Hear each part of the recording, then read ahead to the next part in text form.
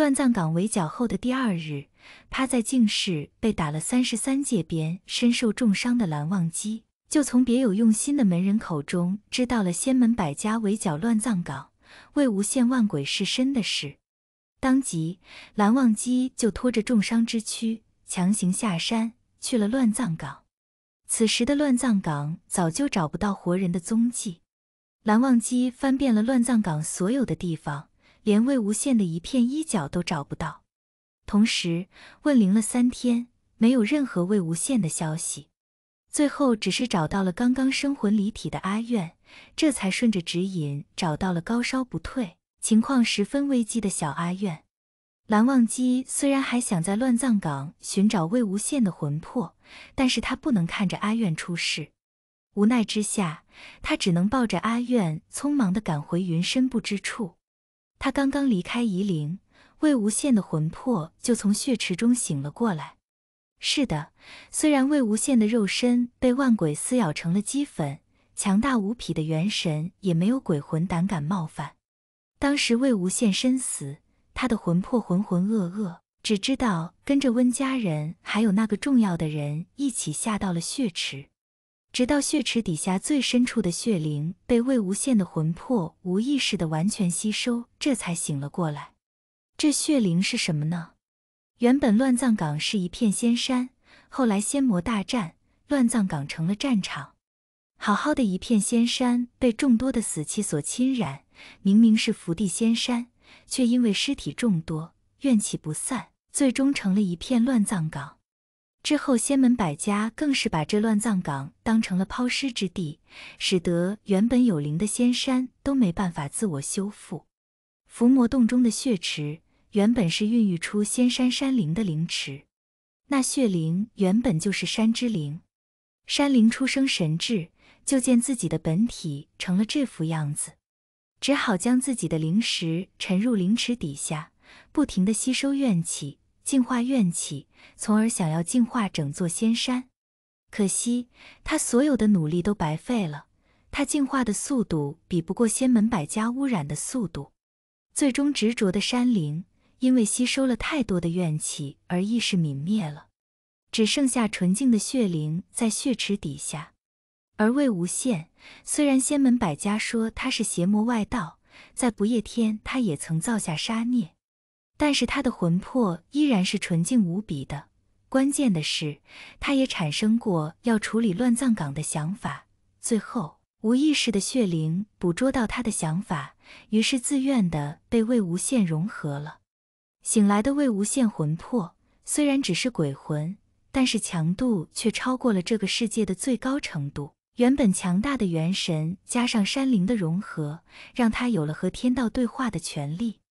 他从血池里捞出了温家所有被杀的人。温彬彬姑娘的怀里紧紧地抱着一个孩子，那孩子比温苑还要大一岁的样子。如果蓝忘机在的话，一定会惊讶非常。他一年前曾上过乱葬岗，但是那个时候他并没有见过和温苑差不多大小的孩子，只是因为那个时候魏无羡把人藏了起来，并不想让蓝忘机看到。乱葬岗围剿的时候，温苑和这个孩子都是被藏了起来的。但是魏无羡有危险，这孩子担心魏无羡，就自己从藏身的地方跑了出来。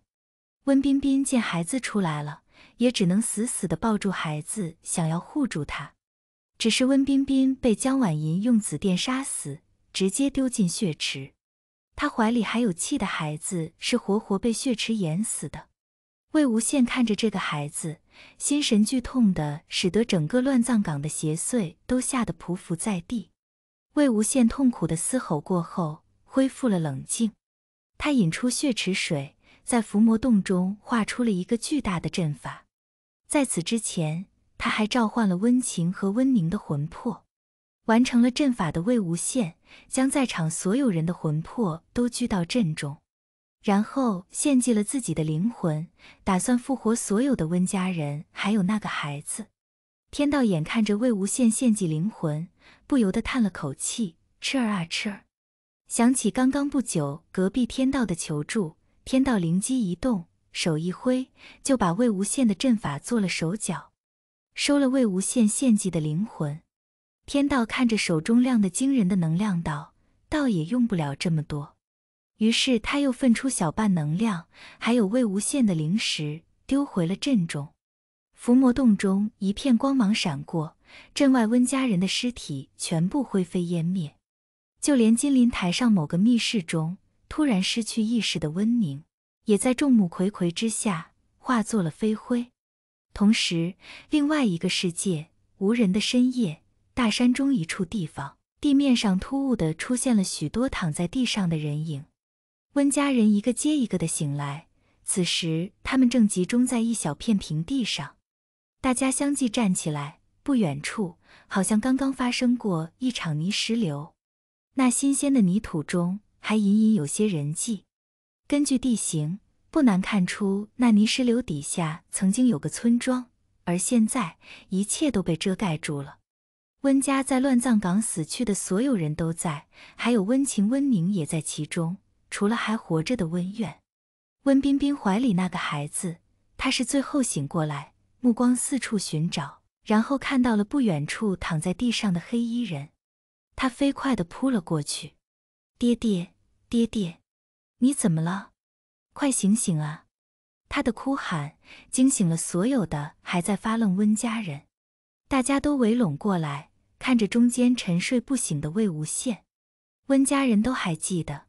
他们都已经死了，但是现在都活了过来，那只能是魏无羡做了什么。温家人都是死之前受到致命伤之前的模样，所以大多数人身上都带着些伤的。温情清醒过来，不知道自己身在何处。魏无羡躺在中间，那个小孩一直伏在他的身上。秦姑姑，爹爹怎么了？他为什么不醒啊？温情走过来给魏无羡把脉，然后又掰开他的眼皮看了看，只能摇头。脉象上来看，此时的魏无羡好好的，身体甚至完好无损，身体里的那些经脉都被不知名的力量修复了，都能够重新修炼金丹了。但是他就是不醒，温情只能得出魏无羡元神受损，进入沉睡的结论。可能过一段时间。魏无羡就能醒来吧？周围的温家人个个带伤。温情看完了魏无羡，暂时没有办法。给小孩说过之后，他乖乖的守在爹爹身边。温情开始就近寻找药草，给温家人治疗外伤。伤的不重的人也开始在周围活动，寻找能吃能用的东西。大家都活了过来，甚至连做了一年多凶尸的温宁也再次有了心跳。唯一遗憾的是阿苑不在，但是婆婆因为在乱葬岗死后放心不下阿苑，所以有一丝魂魄是跟着阿苑的。后来魏无羡召回大家的魂魄，复活了所有人，所以婆婆是知道阿苑被寒光君救走了的。大家因为阿苑不在而伤心，婆婆却反过来安慰大家：阿苑活得好好的，还很安全。只是他们现在并不知道。他们和阿苑已经不在同一个世界了，大家都明白，他们的复活这一定是魏无羡做的。现在也不知道身在何处，只能就近搭了个草棚子，让魏无羡躺在里面，大家暂时歇在棚子里养伤。龙国某卫星检测处检测员报告了新情况：神龙山脉某处山谷发生了泥石流。原本这种原始森林里的状况是没有什么关系的。但是监察员在巡视卫星图的时候，在泥石流的附近发现了人类活动的痕迹，于是监察员连忙上报情况，怀疑神农山脉中存在有不为人知的村落。而领导在得知情况后，调出了泥石流发生前的影像记录。发生泥石流的地方是一处山谷，谷中树木茂密，看不到房屋的痕迹，但是时有炊烟。应该是有一处人类聚集的小村落，而在泥石流发生后，大概有几十人出现在山谷之外游离不去，很有可能是山谷中有村落，而这些人是灾难幸存者。在确定了情况后，龙国很快就派遣了直升机、军队，带着物资、药物前去救援。时间接近午时，温家人开始煮东西吃。已经来到这个地方三天了，温家人并没有离开原地，而是暂时安置下来养伤。魏无羡一直没有醒，小孩也一直守在魏无羡的身边，不曾离开。温情用竹筒端了一碗汤过来，他们没有锅，这还是临时捏的陶罐炖的野鸡汤。因为火气有些重，温情在里面加了些温补凉的药材，不多，能够压下野鸡的腥味。宝贝。让一让，先让你爹爹吃点东西。小孩听话的让在一边，帮着秦姑姑把魏无羡身下垫高，然后爬上床，扶住爹爹的头，让温情喂鸡汤。温家人都叫小孩宝贝，这是他的小名。其实他还有个大名，叫做蓝微之。爹爹说，这个名字是谐音的意思，蓝卫之子。他曾在一年多前，在乱葬岗躲在温家人的草棚子里，偷偷的见过他的父亲。他父亲是仙门风光霁月的寒光君。爹爹说，不能让任何人知道他的身世，因为他是爹爹偷来的宝贝。如果被发现了，不但会坏了父亲的名声，他也会被骂怪物的。因为他是爹爹生下来的，古往今来，从未有男人生子。别人都不知道他是魏无羡生的。蓝微之的大名并不为别人所知，平时他都是用小名。爹爹给他取的名字叫魏宝贝。爹爹说他是上天赐给他的宝贝。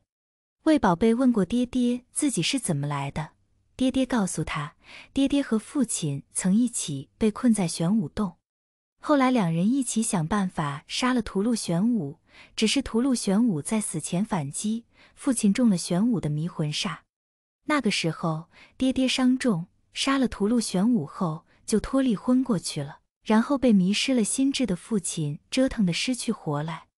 也不知道是不是玄武的术法改变了他的体质，他发了高烧。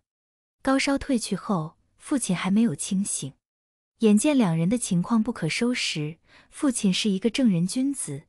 爹爹不知是怕父亲醒来内疚自罚，还是出于别的什么心理，反正就是提前点了父亲的睡穴，然后把一切处理得干干净净的后，这才昏迷。之后回到江家，后来经历了江氏灭门，还有剖丹和乱葬岗三月，爹爹都没有发现身体有任何异常，甚至他的腰身都没有变化，依然是纤纤细腰，不盈一握。直到玄武洞时间过去九个月，爹爹也已经在射日的战场上。几个月后，这一日，爹爹出门去山中挖坟，走到一处人迹罕至的地方，却突然发动腹部剧痛，费了九牛二虎之力，居然生下一个拳头大小的肉球下来。那肉球迎风便长，直接从拳头大小变成了西瓜大小，最后表面的肉膜胀破，里面竟然是个婴儿。爹爹人都吓傻了，要不是他亲眼见证是自己生出来的东西，他都以为遇到精怪了。但是新生的他真的只是一个普通的婴儿，爹爹在战场上也没有办法安置他，只能暂时将他寄养在农户里。在战场上的爹爹时常悄悄地去看他，他的相貌渐渐张开，爹爹从婴儿的脸上看出了父亲还有自己的影子。算算怀孕到生子的时间，他想起九个月前的荒唐，才惊觉这个孩子居然是他和父亲两人的。温情给他剖丹的时候，没有发现这个孩子。他在乱葬岗苦苦挣扎三个月，这个孩子也没有出现问题。在战场上劳累奔波，也没有伤到孩子。孩子就这么坚定不移的来到这个世界，想明白一切的魏无羡感动坏了。认定孩子是上天赐给他的宝贝，不但暗戳戳的给孩子取了个谐音的大名，还取了个有点好笑的小名。后来，魏无羡带着温家人上了乱葬岗，他去那户农家人看孩子，发现那家人自己也有了孩子，渐渐对他家宝贝也没那么好了，他就干脆把魏宝贝带回了乱葬岗，同他一起生活。同时，魏无羡告诉温家人。魏宝贝是他儿子，对此温家人并没有怀疑，毕竟魏宝贝的眼睛、眉毛都长得和魏无羡一模一样。就算魏无羡不说，大家也不会认错的。只是魏无羡不说，他们也猜不出来魏宝贝的娘亲是谁。魏宝贝很聪明，魏无羡早就把他的身世跟儿子说得清清楚楚，这是只有他们父子两人才知道的秘密。温情给魏无羡喂完了东西，又给人把了脉。魏无羡的脉象没有变，只是这几日吃的不怎么好，虚弱了些，看样子要想办法改善一下生活了。温情在考虑要不要走得远些去探索附近了，他又有些犹豫。现在他们这一群人没有什么战力，就连弟弟也成了活人，武力没有原本的一半厉害了。温情正在为大家的情况焦虑。这附近草药有限，所有人都有伤，草药根本就不够用。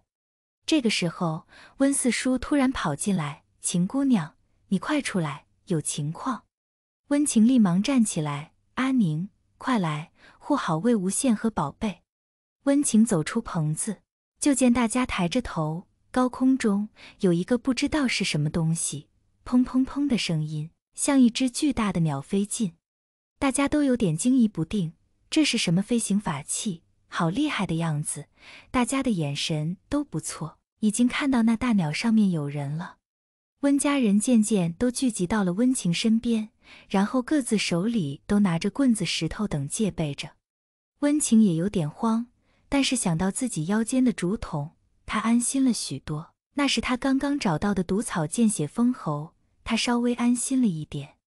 大鸟在大家的目光中飞了过来，大概是上面的人看到底下的人很慌张的样子，找了个离得远些的平地降落了下来。然后上面下来一对穿着奇怪衣服的人，他们有绿色衣服的人的手中抱着箱子，还有穿着白色衣服背着箱子。看着那些人走过来，温情站在温家人前面开口：“站住！你们是什么人？不要过来了。”后果自负。那队人前进的步伐一顿，大家的脸上都带着惊讶，显然是没有想到还有人会不知道他们是什么人。一个大概是领头的人站出来说话：“你们好，不要紧张，我们没有恶意，我们只是通过卫星看到有泥石流发生，我们是军人，特意过来救援的人。你们是住在山谷里的村民吗？”那人的眼神清明。当然不会将温氏族人当成什么躲藏在森林里的犯罪组织，毕竟不会有什么组织全是老弱病残，连个壮年男人都看不见。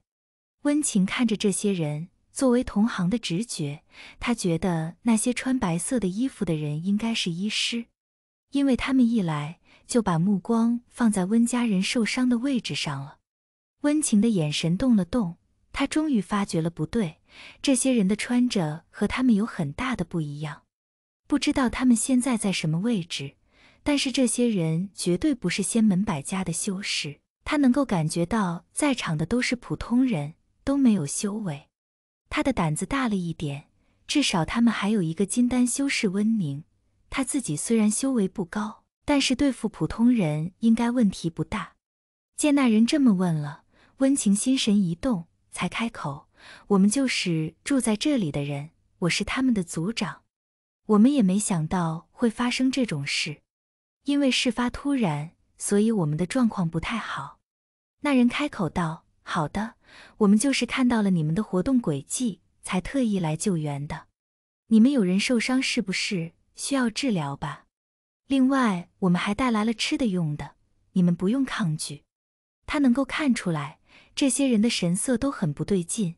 就好像他们是什么恶人一样，个个的眼神都带着的恐惧惊慌。那领队的心里咯噔了一下，想着眼前的这些人是遇到了什么可怕的遭遇了吗？温情一直在观察这群人，他们的眼神都十分的清正，看到他们的惨状，神色都带着痛心。特别是那些穿着白色衣服的人，要不是他们都拿着棍棒戒备，都恨不得冲上来救护伤患。双方对峙了一会，温情挥挥手，大家这才放下了手中的棍棒。对面的人慢慢的走过来，他们中的人抱着一些箱子。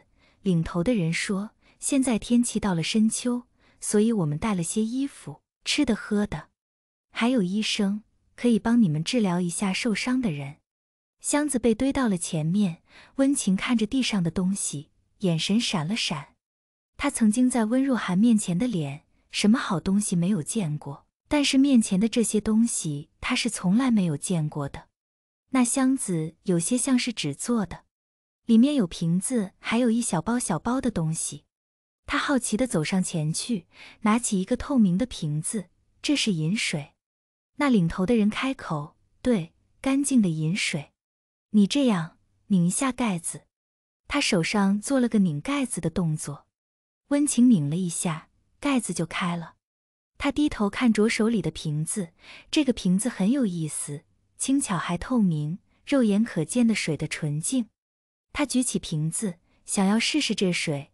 温四叔连忙阻止：“秦姑娘，让我来试试吧。”温情摇摇头：“没事，我刚好渴了。”军人这边虽然大家心里都很焦急，但是也安静的等在一旁。这些幸存者看样子都如同惊弓之鸟，防备心非常的重，他们也不敢有什么大动静。生怕惊吓到这些人。温情喝了水，他作为医师，第一时间就能够感觉到饮水没有异常。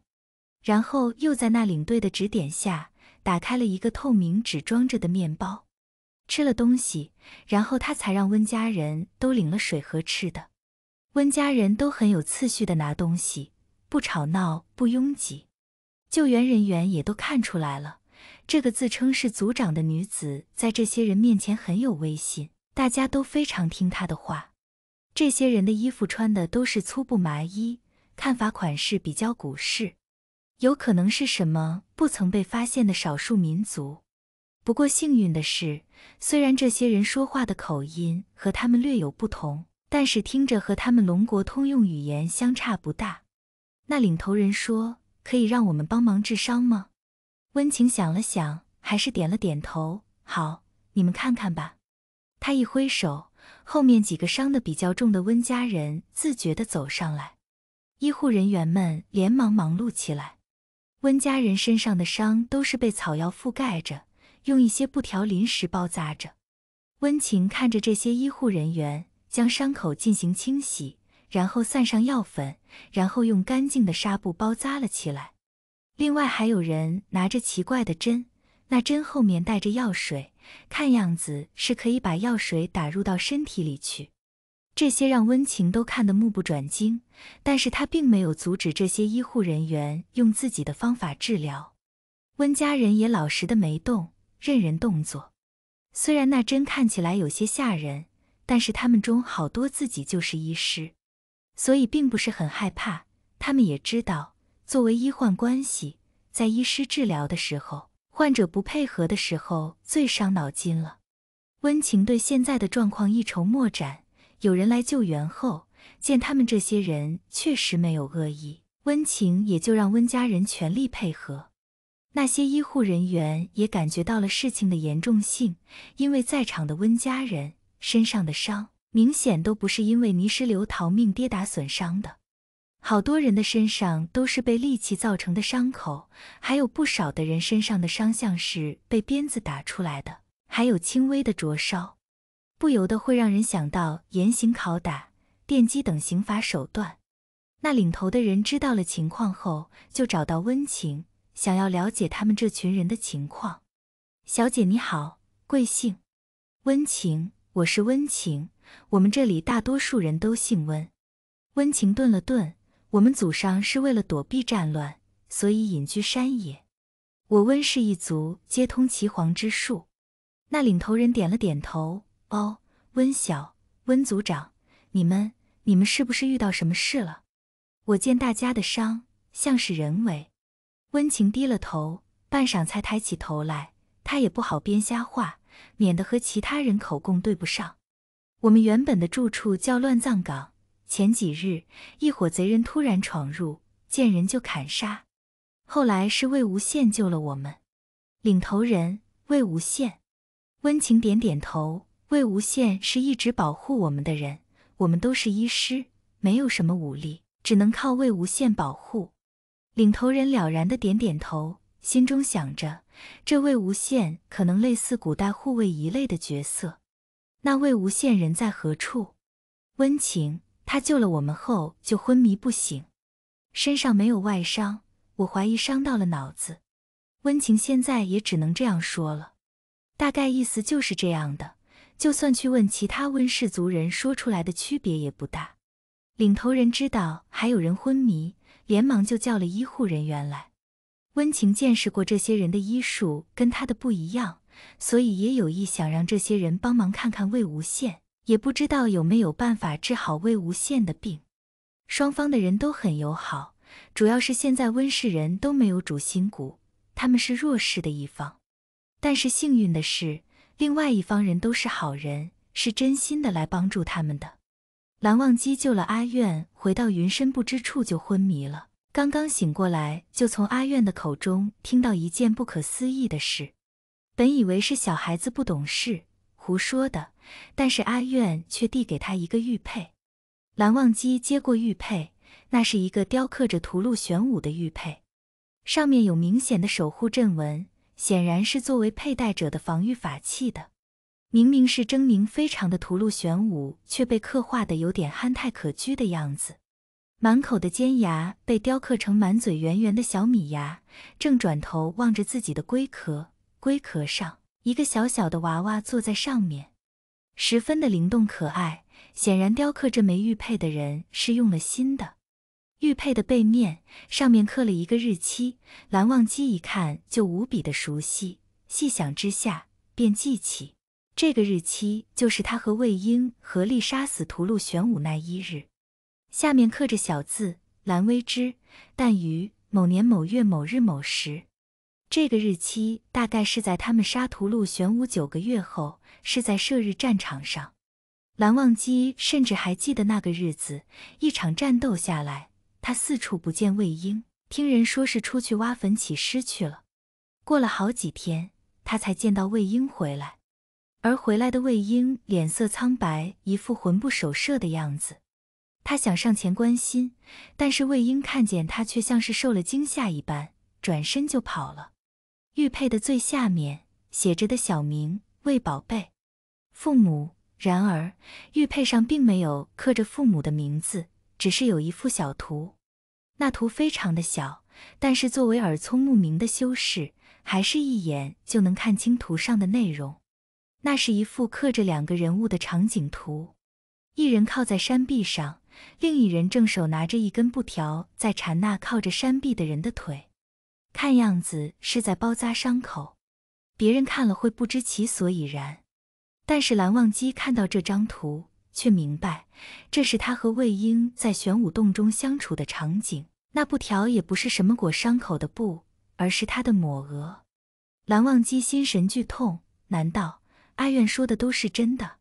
真的有一个孩子叫他父亲，是他和魏婴的孩子。可是魏婴为何能男人生子？不，不对，这个孩子在哪儿？乱葬岗只找到一个阿苑。那个叫蓝薇之魏宝贝的小孩呢？死了。蓝忘机连惊喜的感觉都没来得及品尝，便是失去一切的锥心之痛袭来。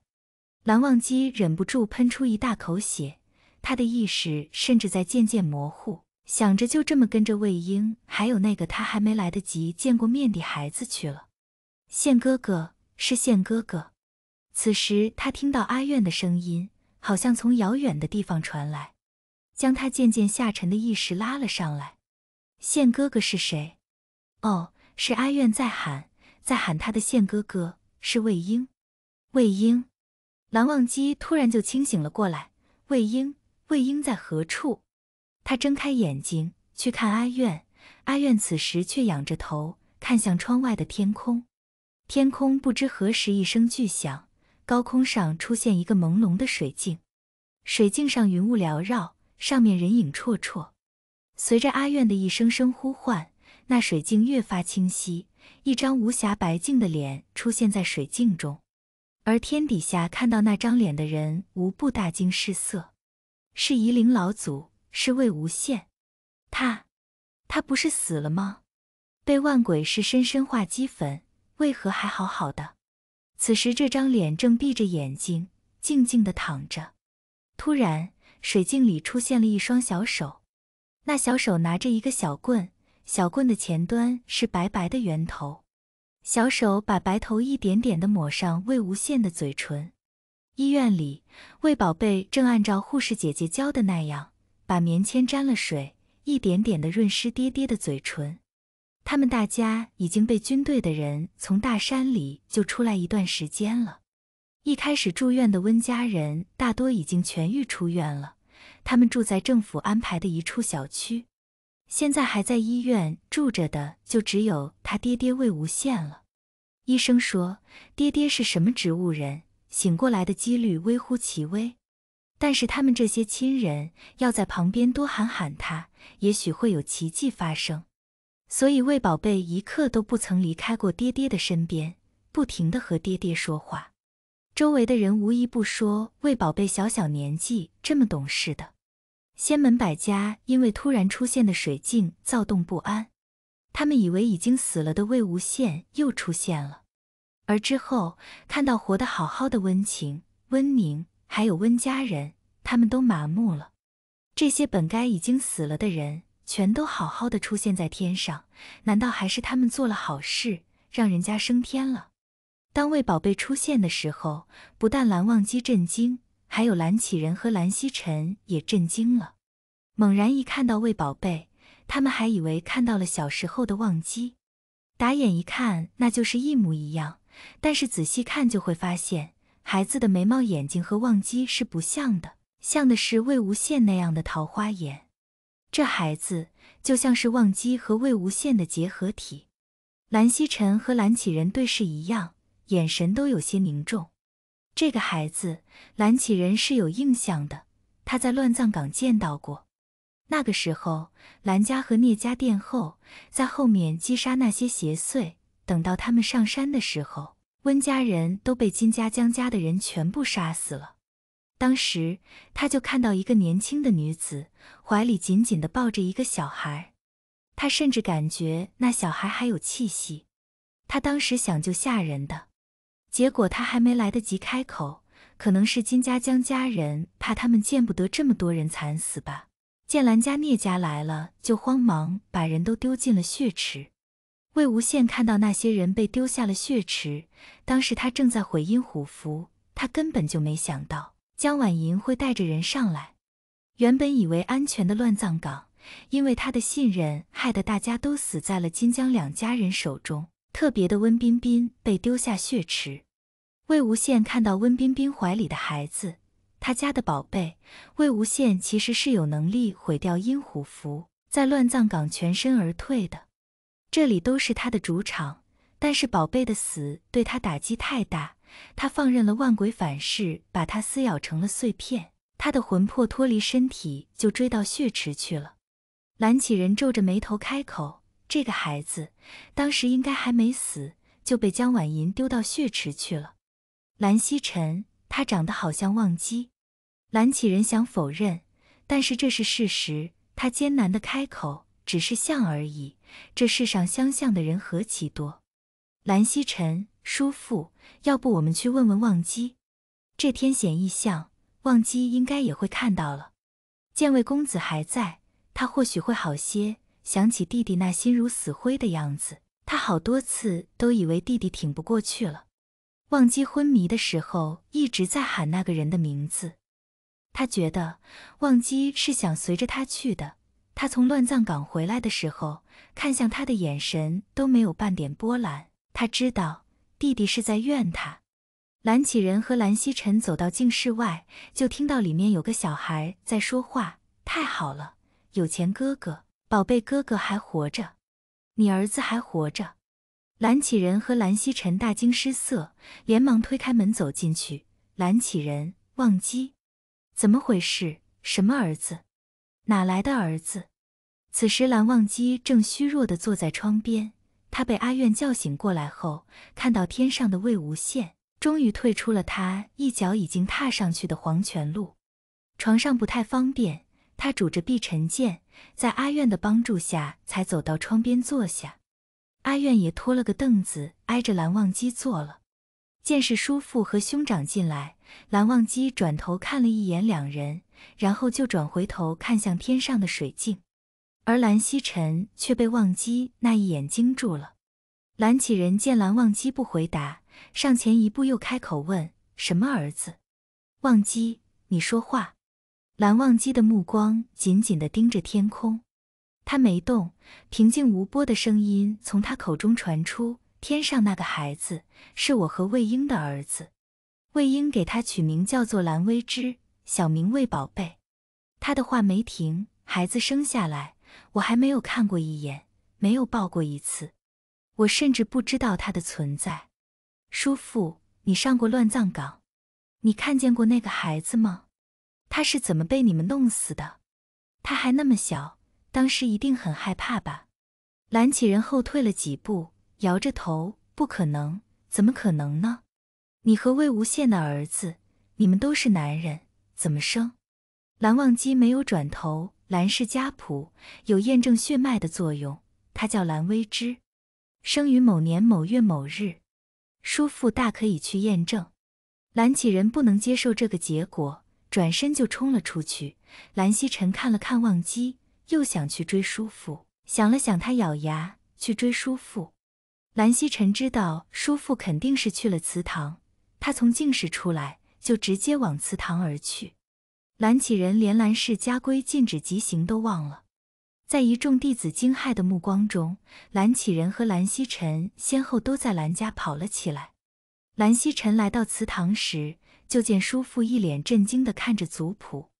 他刚刚来到祠堂，就拿着笔在族谱上蓝忘机的后面写下蓝微之的名字，还有出生日期。蓝氏家谱金光一闪，承认了蓝微之的蓝氏血脉。不，不可能，怎么可能呢？忘机的孩子，居然真的是忘机的孩子！蓝启仁的眼睛都红了。他当时看到那个孩子还活着的，他都没有拦下来。眼睁睁地看着那个女子抱着孩子被江婉莹一鞭子卷起，然后甩进了血池。紧接着，魏无羡就发了疯。接下来被魏无羡被万鬼反噬，在场的人都被那可怕的一幕吓破了胆。后来那孩子的事就被忽略了。蓝曦臣走进来，看到被家谱承认的血脉，也不由得心神俱震。蓝氏家谱有两本。一本是普通的记载用的家谱，一本是先祖留下来的法宝。此家谱能够验证家族血脉，只有蓝家嫡系血脉才能在家谱中写下名字。要是不是蓝家血脉写在上面，字迹也会消失。蓝曦臣看着手里的家谱，努力的压下心里的震惊。叔父，我们去净室吧。不管怎么说，这孩子现在活着是好事。蓝曦臣心里不免担忧，那些温家人还有魏无羡和那孩子都活了，看样子应该不是这个世界了。他心里有些恐慌，总觉得他留不住忘机了。孩子和心爱之人都不在这个世界，这个世界还能留住他吗？蓝启仁和蓝曦臣放好族谱，回到净室，想要推开门进去，却发现静室外竟然有一层结界。蓝忘机的声音传出来：“叔父、兄长，忘机今日不见任何人，你们回吧。”蓝忘机痴痴地看着天上的水镜，他知道蓝启仁和蓝曦臣来找他，一定是族谱上有了结果。不用说，那天上的魏宝贝真的是他的儿子，因为想起了玄武洞的事，蓝忘机也知道了这个孩子是怎么来的。很可能当时的玄武在他们身上做了什么手脚，魏婴才以男子之身生下了孩子。虽然屠戮玄武是禁神失败的产物，但怎么说，他也是个半神兽，想要改变一个人的体质，应该是很容易的。大概是屠戮玄武想要造成魏婴的痛苦吧。蓝忘机想象不到，他那个时候欺负了魏婴。魏婴是怀着怎样的心情掩盖了所有的痕迹？而之后，他一个人挣扎的生下了孩子，又是怎样的恐慌和无措？他从来没有想过把孩子的存在告诉他，偏偏他却又给孩子取了蓝姓，明晃晃的告诉孩子，他是蓝忘机和魏无羡的儿子。他还给孩子取名叫做宝贝。看着天空水镜中，魏宝贝拉着魏无羡的手说道：“爹爹，你快点醒来好不好？宝贝想爹爹了。阿愿弟弟不见了，弟弟看不到，我们一定很害怕。”泪水顺着蓝忘机的脸颊往下流，阿愿笨拙地伸出手给蓝忘机擦眼泪。有钱哥哥，你别哭了，等你病好了，我们去找宝贝哥哥好不好？新的世界很神奇，病房里还有电视，电视里有小人。魏宝贝是个小孩，接受新鲜事物很快。病房里还有其他人，他们都知道魏无羡和小孩都是从山里救出来的。有很多现代化的东西都不懂。魏宝贝很喜欢看电视，病房里的人都很迁就这个可爱的小孩，一直都是让他看少儿频道。然后魏宝贝就看到了电视里的一则广告：天才萌宝大赛展开，欢迎各位小朋友报名。最终获得第一名的天才萌宝将获得一百万奖金。魏宝贝知道一百万是很多的钱。至少给爹爹治病是够了。秦姑姑还在为钱烦恼，不如她去参加这个节目。魏宝贝有很多东西都不懂，但是他嘴甜，就拜托了病房的其他人给他讲解这个节目的规则。他们这些人都是住在深山里的，并没有记录在案，还是后来国家安排了他们，给了他们登记了新的身份。魏宝贝是魏无羡的儿子。新的身份证上也是“魏宝贝”这三个字。有身份证，魏宝贝请求同病房的人给他在网上报了名。同病房的人是个四十多岁的军人戴学林，他没有妻子，也没有孩子，见到魏宝贝就稀罕的不行。他对魏无羡他们的情况是知道一些的，见魏宝贝想参加这个节目，也知道孩子的想法，所以他还是很支持的。报好了名，戴学林就对魏宝贝说道：“宝贝啊，这个节目报名的人不会少，要想走到最后，要有才艺的。你都会些什么呀？”魏宝贝歪歪头，想了半天：“我会舞剑，还有画符。”戴学林，舞剑还理解，画符是什么鬼？戴学林一言难尽的看了魏无羡一眼：“宝贝的爸爸都给孩子教了些什么？画符。”让孩子长大了当神棍吗？摇摇头，算了，这人还昏迷着呢，他也就不计较了。等醒来，一定要好好的教育一下这个年轻的爸爸。戴学林看着魏宝贝，宝贝还会舞剑啊，厉害厉害，可以表演给我看吗？魏宝贝，可是我的小木剑不见了。戴学林在病房里四处看了一下，递给魏宝贝一根筷子，宝贝，你用筷子当成剑吧。要是舞得好，爷爷给你弄一柄小木剑来。魏宝贝接过筷子，拿着筷子，小娃娃的气势就变了。明明是个三头身的娃娃，戴学林却从他的身上感觉到了威势。魏宝贝的剑法都是魏无羡教的，他的木剑是蓝忘机买给阿愿的。后来阿愿见哥哥喜欢，就送给了魏宝贝一柄。有了木剑，魏宝贝就缠着爹爹教他剑法。魏无羡也宠宝贝，很认真的教了魏宝贝剑法。他教魏宝贝的是蓝家的剑法，还跟孩子说这是他从他父亲那里学来的，所以宝贝学的特别的认真。蓝家人向来注重仪态，这一套剑法舞出来也是飘逸灵动。虽然宝贝只是拿着一根筷子，却依然舞得有模有样。宝贝太厉害了，这套剑法一看就很厉害。这么厉害的本事，肯定能得奖。不过你这个可以做压轴，还得会些其他的。戴爷爷，我可以学。爹爹说我很聪明，我学东西可快了。戴学林挑了挑眉，看小孩一脸自信的脸，有些好笑。他拿出手机，是吗？那我考考你。他打开一个叫做抖音的软件，搜索了一个儿童舞蹈。然后手机里就出现了许多小娃娃跳舞的视频。戴学林随意的点开一个，手机里响起欢快的歌声。魏宝贝凑到戴学林身边，看着手机里的小朋友跳舞。那个视频很短，只有三分钟的样子。戴学林怕小孩学不会，还特意放了三遍，三遍过后，魏宝贝没动，站在原地沉思。戴学林也不打扰小孩，让他自己去想。过了一会，魏宝贝抬头：“戴爷爷，我会了。”戴学林：“真的？那我再放一遍音乐，你跳来看看。”魏宝贝也不怯场，后退到病房宽敞一点的地方。我准备好了，戴爷爷开始吧。戴学林再次打开那条视频。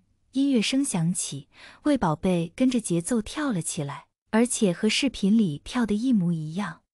儿童的舞蹈大多是动作简单，对于复杂的剑法都能学会的魏宝贝，真是太简单不过了。但是看到魏宝贝的表现，戴学林就觉得不简单了。这孩子太厉害了吧，也就看了三遍就会了。而且他还注意到，孩子还踩点了，每个动作都在拍子上。视频里的娃娃要大些，魏宝贝最多不过三四岁的样子，动作标准，踩点准确。戴学林觉得魏宝贝比视频里的小孩还要跳得好看得多。一支舞蹈跳完，戴学林不由自主地鼓起掌来：“宝贝，你太棒了，你参加节目一定会得奖的。”魏无羡住的是军区医院，温情他们不是不来，而是他们新的住处。大家都忙着安顿，其他人要来医院守着魏无羡，都被魏宝贝劝回去了。温情也只能让人送饭，谁有空谁就来医院陪着魏宝贝。不过大家都很忙，这里是军区，大家也都放心魏宝贝在医院。温情在病房外揉了揉眉心，他们温家人多，什么都没有，还是受了军队的帮助才安顿了下来。他们用的钱都是军队的人捐赠的。温家人身上都有伤，虽然得到了救治，但是也都没有好全。魏无羡因为昏迷不醒，用的钱就比较多。温情见大家在医院一直花销不断，干脆让大家回去住处养伤，让魏无羡继续在医院接受治疗。他身上的钱不多，要买药草给温家人治伤，还要给大家配备日常用品。这个世界什么都有，可惜他们没钱。温情一直在想，来到这里之后要怎么生存。这个世界显然不是原来的世界。他来到这里，距今为止再也没有看到修饰。魏宝贝抱着戴学林的手机，一直在学上面的唱歌跳舞。他的记性好，可以说是过目不忘。手机上学来的舞蹈，他很快就能学会。他的声音也很好听，奶乎乎的。还能边唱边跳，戴学林觉得自己算是捡到宝了，提前看到了很多节目啊。温情来的时候，就看到魏宝贝正在病床前一扭一扭的，她不由得好奇地问：“宝贝，你在干嘛啊？”魏宝贝得意洋洋地说道：“秦姑姑，我报名参加节目了，我要做天才萌宝。电视上说了，冠军有有一百万奖金的。”温情有些摸不着头脑，什么天才萌宝？魏宝贝不知道该怎么解释，求助的看向戴学林，戴爷爷。戴学林拿过自己的手机，搜出关于天才萌宝的活动页面。温小姐，你看，这就是宝贝说的节目。温情接过手机，看到上面的介绍，皱了皱眉。宝贝，这个你想参加？魏宝贝点点头，嗯，秦姑姑。宝贝想帮爹爹挣钱，温情有些不赞同。她蹲下身，宝贝，你知道吗？这个世界并不是你看到的那么简单，不管在哪里都逃不过特权。魏宝贝歪歪头，特权。温情点点头，对，有权利或者有财富的人，通过他们的权利和金钱，比普通人更加的容易取得成功。对于温情的话，戴学林有些不赞同。温小姐，我觉得你的想法太过偏执了。我们龙国还是个很公平公正的国家。温情，你能保证这样的节目不是有钱人的游戏吗？不过是他们为了炫耀自己的孩子而推出的游戏。真正能够走到最后得到奖励的人，怎么可能是我家宝贝这样无权无势的人？我宝贝再厉害再聪明又能如何？戴学林沉默了一会，不得不说，温情说的现象还是存在的。但是他真的觉得宝贝是个很棒的孩子。他想了想，说道：“温小姐，宝贝真的很棒，而且他一片孝心，也是为了他爸爸才想要参加这样的节目。我们不能打击他的积极性，你看这样好吗？节目可以让他参加，我能保证绝对不会出现黑幕。至于能走多远，那就看他自己的本事了。”考虑了一会，温情还是妥协了。他怜惜地摸了摸魏宝贝的头。如果魏无羡醒着，凭他的头脑，大家的生活应该会好得多，怎么也不会让魏宝贝去参加什么节目。宝贝虽然在乱葬岗生活，但是魏无羡看得跟眼珠子似的，从来没有让孩子吃过什么苦头。温情叹了口气，坐在魏无羡的病床边，嘴里喃喃地念叨着：“魏无羡啊，魏无羡，你倒是早点醒来呀！”看到宝贝这么着急，你真的一定都不心疼吗？此时的魏无羡就如同睡着了一般，温情这样说，他也没有一点反应。他的元神因为献祭受损严重，还是天道怜悯，才给了他一线生机。温情同意了魏宝贝去参加节目，魏宝贝就继续跟在戴学林身边，两人一起在手机里找视频，见到好的舞蹈就学起来。渐渐的，戴学林的脸色苍白起来，额头上也冒出了许多的冷汗。魏宝贝向来是个细心的人，他见戴学林拿着手机的手都在抖了，立马就发现了不对劲。戴爷爷，你怎么了？是不是生病了？戴学林的嘴唇有些发青，说话也变得有气无力的。宝贝，不要慌，我没事。魏宝贝连忙叫道：“秦姑姑。”你快来看戴爷爷，他不舒服。温情连忙起身，走到戴学林病床前。温情看了一眼戴学林的脸色，心里已经有了数。他开口道：“戴先生，如果你不介意的话，能让我把把脉吗？”戴学林在年轻的时候脚上中过弹，当时因为任务，他忍着受伤，一天一夜完成了任务，才得到治疗。当时伤好了之后。并没有觉得有什么问题，等到年纪大了之后，问题就来了。只要一变天，他的骨头就开始痛。一开始还没有引起重视，后来越来越严重。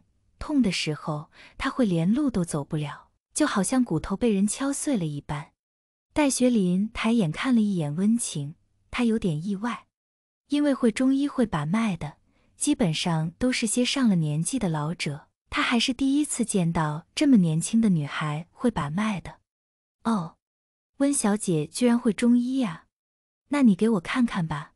戴学林没当回事，他的病连那些老中医都没什么办法，只能靠着理疗的手段减轻一点疼痛。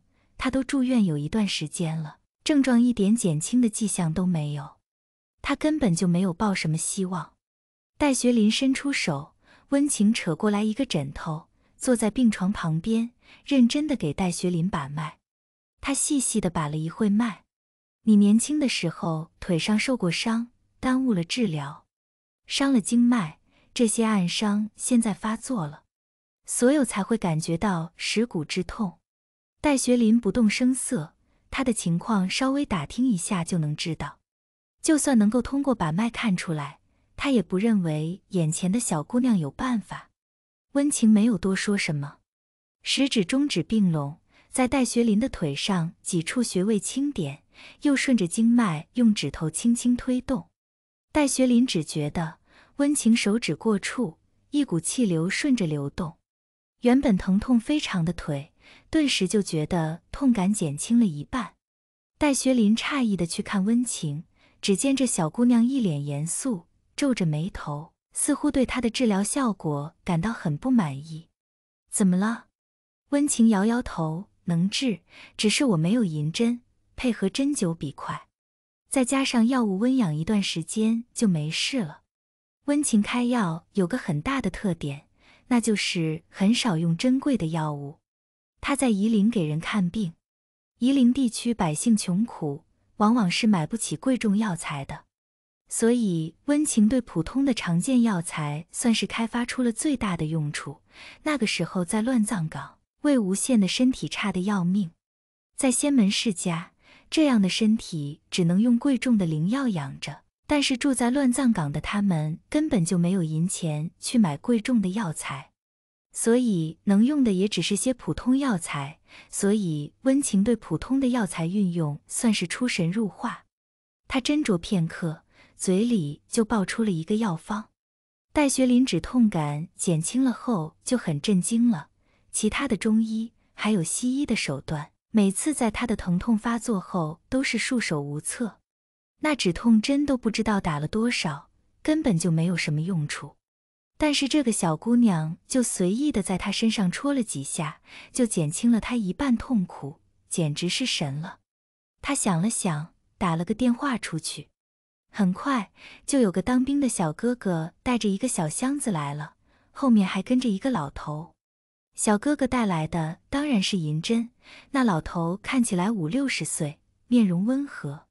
来到病房后，也没有多说什么，看了一眼温情，就上去给戴学林把脉。这是一位龙国的中医圣手，平常还是很傲气的，但是他也拿戴学林的暗伤没有办法。但是他听说有人能减轻症状，所以也就跟来看看。他倒不是那种上来就质疑人家的人，那种倚老卖老。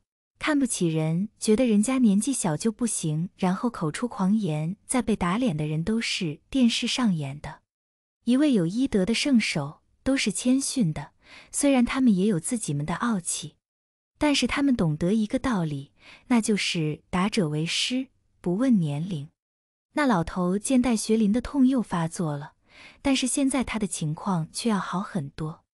戴学林，小温啊，这时间紧。也找不到好的银针，这套你先将就用一下。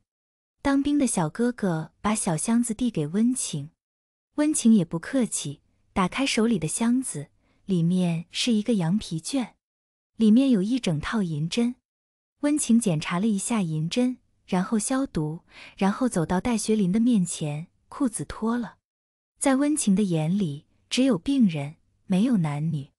戴学林也不含糊。在小哥哥的帮助下，把自己的病号服、裤子脱掉，还穿着大裤衩子呢。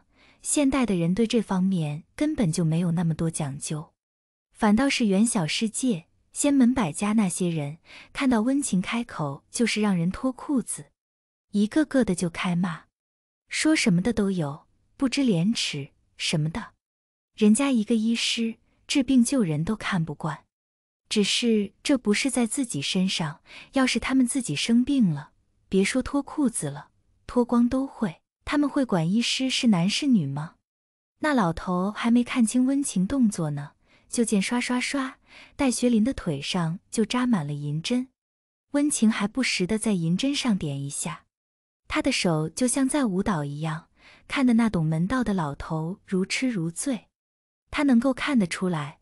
温情的手法是用银针打通受阻的经脉。戴学林的病其实就是经脉中的暗伤，要治这样的病，对温情来说是最拿手的。谁让他临床经验丰富呢？魏无羡真的是为他医术的增长做出了最大的贡献。没一会，温情就起了针，戴学林顿时就感觉不到痛了，反而是平时最难受的位置温温热热的，舒服极了。之后，温情见有医师来，他也不怕什么泄露了秘方，而是对着那老头报了一遍药方。那老头听到药方后，连忙用纸笔记了下来，捧着药方如获至宝。明明都是一些很普通常见的药材，巧妙的组合在一起，却产生了不一般的效果。老头完全沉浸在了药方里，妙啊，还能这样用！哎呀，我怎么没想到呢？这个天啊，简直是绝了！怎么想出来的？老头嘴里不停的念叨着。好一会，他才反应过来，眼神发亮的看着温情小姑娘：“你师承何人？”温情家学渊源，我父亲就是我师傅。我们温氏岐黄一脉，全部都是医师。听到这里，戴学林的神情严肃起来。住在这个病房里。他是知道温情一群人的来历的，有五十多个人都是从深山里带出来的，如果全部都是医师的话，可就不简单了。这温情是那些人的族长，大概是最厉害的一个。今日出手，果然不凡。那其他人，但凡有他一部分的本事，也是不得了的了。那他们不就是捡到宝了？之前看着老弱妇孺，不显山不露水的，但是仔细一想，这些人的谈吐都不一般，不像普通人。这之后的时候要怎么处理？戴学林很快就让人推着轮椅来带他离开了。温情也没当回事，就是随便出了个手。他没想到今天过后。他们温氏一族的生活将发生天大的改变，而他们也在军方的帮助下，更好的融入了这个新世界。蓝忘机从寒潭洞出来的时候，已经是十三个月以后了。他用一枚千年灵山鲛珠，给自己重塑了经脉，重塑肉身。原本的三十三界边，可以说是已经完全损坏了蓝忘机的根基，想要恢复，可以说是希望渺茫。非十几年的光阴不可实现，蓝忘机干脆放弃了这种缓慢的修复根基的办法，不破不立，破而后立，直接放弃原本已经破损的经脉，利用鲛珠强大的能力重塑根基。这个过程非常的痛苦，比三十三界边还要可怕，可以说是把身体里的每一寸经脉都粉碎再重塑。如此的痛苦，非常人不能忍受。古往今来，几乎没人会用此方法重塑经脉，但是在蓝忘机的心里，又有什么痛苦比得上万鬼是身之痛呢？蓝忘机闭关出来，在深夜就悄无声息地回到净室。他第一时间做的事就是抬头看天上，那里有他最重要的两个人。那处水镜也不知道是怎么回事，基本上都是显示着魏无羡躺在病房的样子。魏宝贝去参加节目就看不到人了。戴学林经过温情的针灸加上药物的治疗，已经痊愈出院了。他的身份不简单，当初奈够和魏无羡一个病房，也纯粹是因为他觉得一个人无聊，所以才在他的病房安排了个昏迷不醒的魏无羡，有个小孩子在旁边照顾着，让戴学林不至于被吵到，也不会孤单。戴学林出院之后，就没让其他人住到魏无羡这里来。他甚至还认了魏宝贝做干孙子，认了温情做干女儿。当然，魏无羡也沾了儿子的光，成了戴学林的便宜干儿子。戴学林是一位少将，回到军队，他就给温家人安排好了去处。温家人基本都会医术，龙国的一些医师跟他们交流过后发现。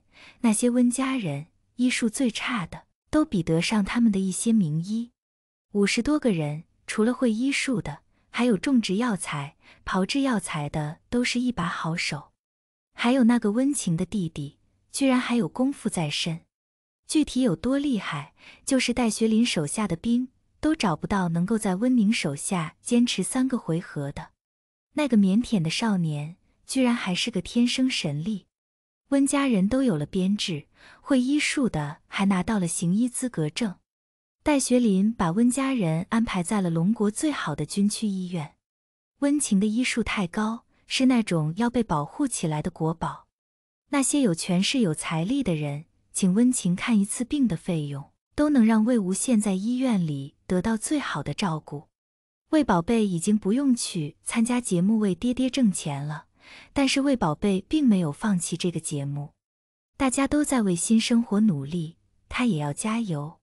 三个多月的时间，一开始仙门百家看着天上的魏无羡还人心惶惶，看到温家人都活过来，都指着天乱骂。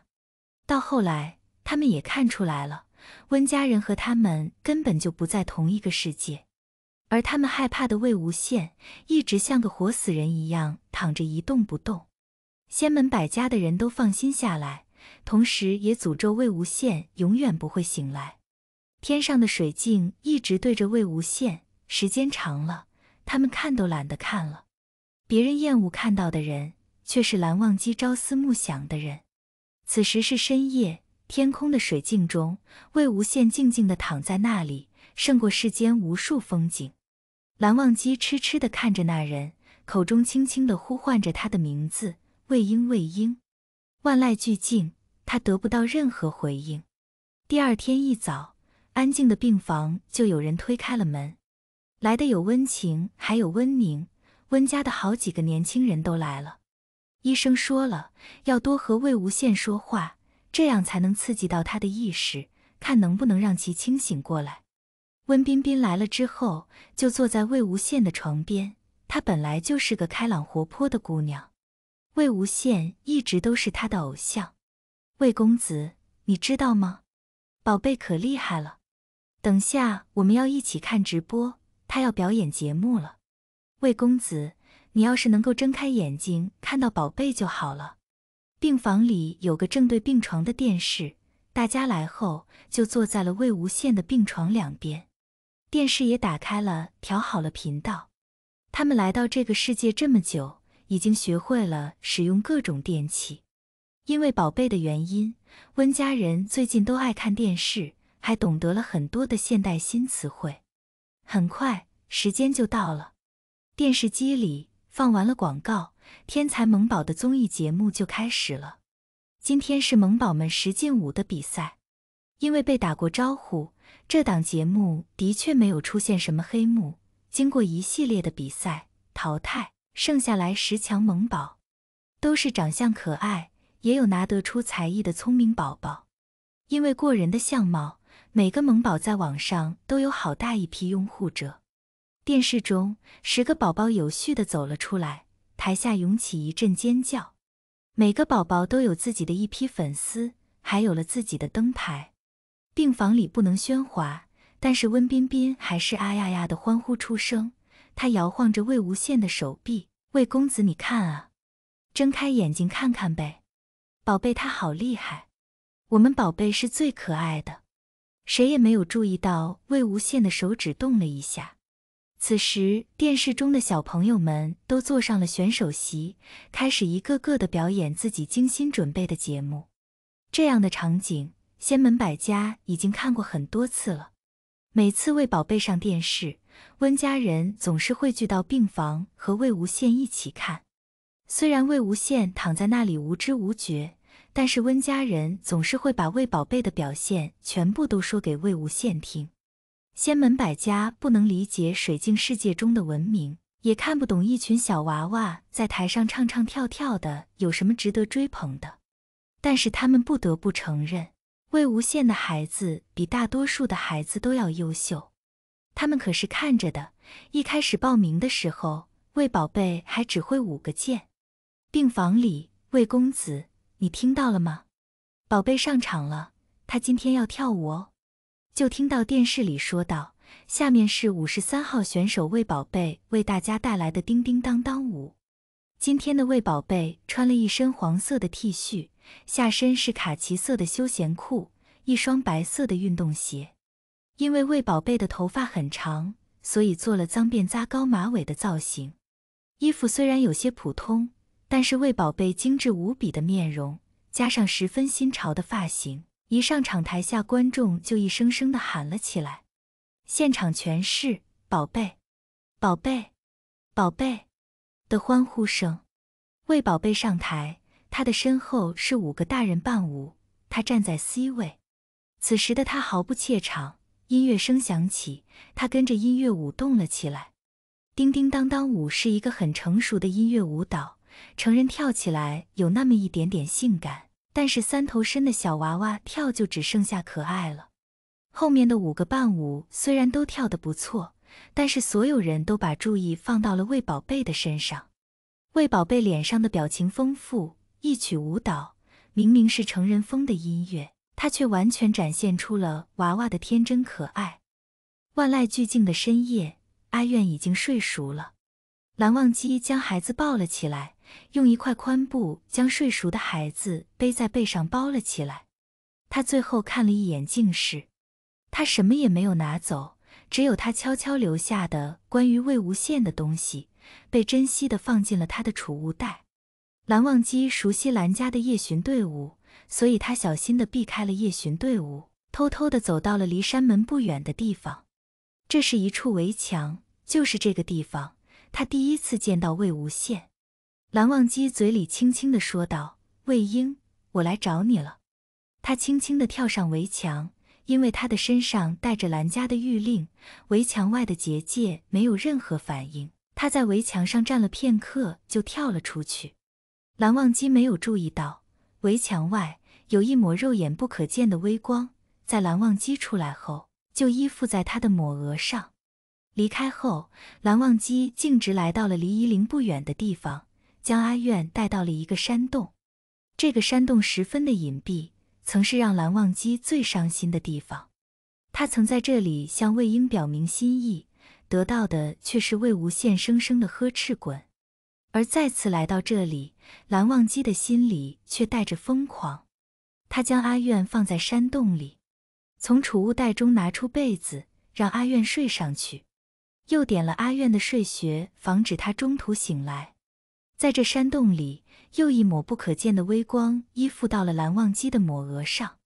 山洞中，蓝忘机换上了一身黑色的夜行服，取了抹额，蒙了脸，将山洞设好了结界。蓝忘机就匆匆离开了。几个时辰后，天已经亮了。蓝忘机带着一身血腥气息回到了山洞。山洞的结界还好好的，阿苑也还在沉睡。蓝忘机背起他。御剑赶往乱葬岗，时间紧，他必须要抓紧时间了。乱葬岗天上出现水镜后，其他人就再也进不去了。蓝忘机来到乱葬岗之外，也被拦住了去路。他从储物袋中拿出了一个木盒，那木盒中隐隐透出了金光。蓝忘机拿着木盒，带着温苑顺利的进入了乱葬岗。蓝忘机带着阿苑一路走到了伏魔洞。伏魔洞外还是当初蓝忘机抱着阿苑离开时的一片废墟，而伏魔洞中却大不一样。原本洞中的地面坑坑洼洼，并不平整，而现在地方平平整整的，如同镜面一般。蓝忘机知道，伏魔洞中一定是魏无羡使用了什么阵法，才能够复活温家人，带着温家人去到另外一个世界。他在古世的时候。找到了一个秘书，蓝忘机这几个月除了努力的治好自己的身体，其余的时间就是在研究这个秘术了。这阵法只有一个作用，那就是回溯。蓝忘机研究了许久，只有这个禁术可以再现出当初伏魔洞中魏无羡使用的阵法，而蓝忘机则是利用新的秘术，在原阵法重现的那一瞬间，利用特殊的力量。划破虚空，找到去异界的路。他把阿苑放在山洞的时候，就是去找这个力量去了。蓝忘机潜入了莲花坞，偷走了江婉莹的金丹。要说原本蓝忘机是不知道魏无羡的金丹在江婉莹的身上的，但是这次阿苑没有失忆，温情魏无羡他们说话从来没有避着小孩。阿苑虽然不懂。但是经不住有个非常聪明的魏宝贝呀，所以两个小朋友交流的时候，阿苑就记住了很多事。比如说，他知道宪哥哥没有金丹，他的金丹在那个江宗主的肚子里。蓝忘机知道了这件事，硬是被气得吐血。他一直以为魏婴是金丹有损，却怎么也没想到魏无羡是没了金丹。更可怕的是，那个时候。算时间，他剖丹的时候还怀着魏宝贝，这也就不能怪一直是仙门楷模的蓝忘机做出这么极端的事了。他虽然一直在蓝家，但是他得知的消息可不少。他知道他的魏宝贝是江婉银亲自丢下血池的。江婉银真的不知道魏无羡为他付出了什么吗？战场上几年的时间，就算江婉银一开始不知道。但是用着魏无羡的金丹，他真的察觉不到吗？所以在蓝忘机研究秘术的时候就想到了，金丹虽然不能再塞回魏婴的肚子里，但是绝对不能再让江婉银拿着魏婴的金丹嚣张了，踩着魏无羡成为仙门高手，成为了不起的宗主，凭什么呀？所以黑化的蓝忘机出了蓝家就想到了要取了江婉莹的金丹。蓝忘机料想的没错。乱葬岗上不去，但是魏无羡的金丹却能够让他们通行无阻。同时，他还在莲花坞拿到了魏婴的佩剑随便和陈情。蓝忘机没有放下阿苑，此时的阿苑被他点了昏睡穴，一直没醒。他在地上用灵气刻画出秘术阵法，阵法成型，蓝忘机用魏无羡的金丹为引，金丹中强大的灵力散开，秘术阵法之下，一个庞大的神秘的阵法渐渐显现。在阵法显现的时候，蓝忘机也看到了滞留在阵法中的残魂。蓝忘机猜测，这很可能是魏婴的魂魄，所以魏婴才一直不能醒过来吗？还没等蓝忘机有动作，那残魂便化成一道微光，依附在了蓝忘机的抹额上。蓝忘机往前一步，踏入那个神秘的阵法。那作为力量来源的金丹突然光芒大盛，等到光芒散去。伏魔洞再次恢复了平静，伏魔洞的地上依然是一片平坦，什么都看不出来，也没有人知道，在某一个早上，有两个活生生的人消失在乱葬岗。蓝忘机恢复意识，从地上爬起来，飞快地看向四周。这是一片山林，周围一个人都没有，但是却有人迹。不远处有个棚子，他背着阿苑，小心地走过去。棚子里也没有人，但是蓝忘机却认出了，这里一定是温家人住过的地方。在破旧的棚子里，蓝忘机把阿苑放下来，放到那个临时搭建出来的床上，慎重地取下了自己的抹额。之前在阵法中，他看到的残魂，他认出来那是魏无羡丢失的一魄。之前那一魄依附到了他的抹额上，当时时间来不及，他也就没来得及查看。蓝忘机在自己的抹额中发现了魏婴的五魄，机缘巧合下，他凑齐了魏无羡遗失在另一个世界的七魄，但是七魄不齐，还差两魄。蓝忘机怕残魄还在原世界，病急乱投医下，就在原地开始了招魂，却没想到远在天边，就在眼前，魏婴的一魄居然就在阿苑的身上，这就还剩下其中一魄了。蓝忘机见阿苑身上有一魄，那另一魄的去向，他就有了猜想。既然魏无羡能够护着阿苑，一定不会不护着魏宝贝，有很大的可能还有一魄是在魏宝贝的身上。蓝忘机想到这里，连忙收起了忘机琴，将阿苑喊醒。阿苑也是睡够了，他一醒过来就发现没有在熟悉的地方，抬眼就看到了蓝忘机。紧张的情绪一下就放心下来了。有钱，呃，师傅，这是哪儿？之前阿苑一直叫蓝忘机有钱哥哥，他又叫魏宝贝哥哥。蓝忘机虽然觉得小孩子不懂辈分问题，但是这父子都叫哥哥也有些不好，便让阿苑叫他师傅。阿苑，饿了吗？蓝忘机从储物袋里取出水囊，简单的给阿苑洗漱了一下，又拿了干粮。阿苑拿着东西，慢慢的开始吃，他才说话：“阿苑，我们来找你宝贝哥哥了。等吃饱了，我们就去找他们。”原本还慢悠悠的啃着干粮的阿苑，立马就来劲了，开始大口大口的吃了起来。蓝启仁一大早就收到了门人的禀报，之前蓝忘机在闭关，阿苑住在净室，也是有仆人照顾的。仆人早上给阿苑送早膳的时候。就发现人没在了，那仆人还以为是小孩顽皮跑到别处玩去了，结果找遍了净室周围也没找到人。仆人知道这小孩是韩光君看中的孩子，不敢怠慢，立马就上报了。蓝启仁住的离净室不远，最先收到消息，不知为何，蓝启仁心里特别的慌，连忙吩咐门人在云深不知处寻找阿苑。他自己径直去了蓝忘机闭关的寒潭洞，寒潭洞哪里还有人？蓝启仁心急的不行，连忙就去了祠堂。祠堂中放着蓝家的族谱，之前他们才在族谱上记下了蓝微之的名字。此时打开族谱，蓝微之的名字还在，但是却褪去了颜色，只有灰色的笔记，和那些死去的先人的名字是一样的。族谱能够检测到蓝家血脉，也能够检测到家族中活着的嫡系成员，不在一个世界，族谱就默认人不在了。让蓝启仁大惊失色的是，蓝忘机的名字变成了和蓝微之的名字一样的颜色，显然是不在这个世界或者过世了。蓝启仁当然是不认为蓝忘机已经死了的，不然他不会带走阿苑。最大的可能就是蓝忘机已经带着阿苑去找魏无羡去了。蓝启仁悲痛地叫了一声“忘机”，他看了一眼天空中显示着在病房的魏无羡。吩咐门人去叫了蓝曦臣过来。当日下午，仙门百家就收到了蓝家的讣告：蓝氏家族韩光君蓝忘机业烈伤重，不治身亡，举族同哀。蓝家云深不知处，到处都挂上了白绫。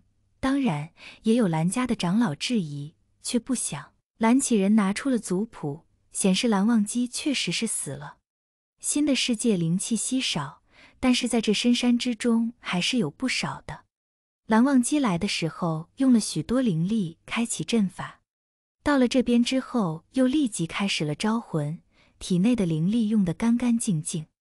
他用了整整一天的时间，才把灵力补满。蓝忘机并没有看到温家人是怎么出山林的。他看到水镜的时候，魏无羡就已经躺在医院里了。他带着阿苑在棚子里住了一夜。阿苑也乖，即使在这深山老林里，他也不害怕，不曾哭闹。他知道师傅是带他来找宝贝哥哥了，只要跟着师傅，他就有安全感。他始终记得，就剩他一个人在乱葬的时候，是师傅来救了他。他躲在树洞里，并没有看到那些场景，但是他知道，所有的人都参与了对他家人的屠杀。他们害死了宝贝哥哥，逼死了魏前辈。他还小，什么都做不了。但是他记得宝贝哥哥对他说过，他现在是小孩子，有什么不懂的、做不到的，就记在脑子里。只要好好的长大，总能懂，总能做到的。第二天一早，蓝忘机就带着阿苑御剑上了天，在天上飞了许久，才看到有人烟的样子。蓝忘机这才落在山林的外围。一路抱着阿苑走了出去。等到蓝家这边灵堂布置起来，仙门百家的人都前来悼念。韩光君风光大葬后，蓝忘机才找到了温情。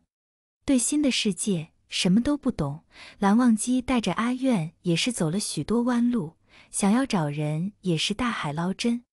因为蓝忘机带着佩剑，一开始被人还以为他带的是装饰品。一头长发、一身古装的他，也被认为是在 cosplay。蓝忘机身上也没有这个世界的钱财，不过他是个非常聪慧之人，很快就找到了金铺，用储物袋里的黄金换到了这个世界的货币。同时，也因为这样被有心人注意到，一个看起来很斯文的人带着个小孩子，身上还有不少钱，然后就有胆大包天的人打算打劫蓝忘机。所以，当接到好心人报警的公安人员赶来的时候，就见到打劫的人躺了一地，而蓝忘机则拿着寒光闪闪的长剑放在贼人的脖子上。于是，蓝忘机和阿苑就这么进了警局。他也说不出自己的出处，只能说自己来自深山，前来寻找家人。现在，蓝忘机唯一知道的线索就是天才萌宝节目的魏宝贝，他们是他的家人。公安人员也是辗转才联系到了温情。温情听说一个叫蓝忘机的带着叫温苑的小孩找他们，大为诧异。这个世界没有其他人知道蓝忘机和温苑的名字，那就可能是真的了。温情火急火燎地找了过来，终于见到了安静地窝在蓝忘机怀里的阿苑。温情，韩光君，你怎么来了？温情对仙门百家的人心中有怨。但是并不包括韩光君。温家人告诉过他，是韩光君把魏无羡从不夜天送回来的。婆婆还说蓝忘机救了阿苑。一见到温情，蓝忘机就问温姑娘：“宝贝在何处？”温情愣了一下，她心里一肚子疑问：蓝忘机是从何处知道魏宝贝的存在的？他和阿苑又是怎么来到这个世界的？既然蓝忘机能来，那仙门其他人会不会也过来？阿苑被温情抱起，这会在熟悉的人怀里，他的话就多了起来。秦姑姑，天上有个镜子，我们看到宪哥。阿苑看了一眼师傅，想起师傅说不能叫宪哥哥，他叫宝贝哥哥，叫宝贝哥哥的爹就不能叫哥哥了。我们看到魏前辈在睡觉，宝贝哥哥在跳舞，还有电视机、手机，我们可以看见你们。小孩子说话，温情虽然能听清楚，却不太明白其中的意思。温情一脸疑问地看向蓝忘机，蓝忘机见阿苑都说了，也就不再瞒着了，对温情说道：“乱葬岗围剿后，某日天空突现水镜，其中现异界之象。水镜中见魏婴昏睡不醒，由此得知魏宝贝。”温情皱了皱眉，回想他们在医院之时有没有提过宝贝的身世。魏无羡并没有对任何人说过魏宝贝的身世，但是耐不住魏宝贝自曝，他跟阿苑说过他父亲的事。当然，阿苑小朋友并没有大嘴巴跟别人说，温情是无意间听到的。他之前是不信的。作为一个医师，他坚持自己的认知：男人是不可能怀孕生子的。此时，蓝忘机站在温情的面前，他才恍然惊觉，蓝忘机和魏宝贝长得有多像。可以说，除了眉眼、鼻子、嘴巴、脸型，魏宝贝都像极了蓝忘机。温情咬了咬嘴唇，不知道现在要怎么办。半晌，他才艰难的开口：“你找宝贝有什么事？”蓝忘机，温姑娘，敢问魏婴昏迷不醒，可是遗失了七魄？温情，你。你看出来的，蓝忘机摇摇头。我已寻到魏婴六魄，其中一魄附于阿苑之身。温情眼睛都瞪大了。你是说，很有可能宝贝身上也有一魄？温情是医师，对魂魄这方面并不是很擅长。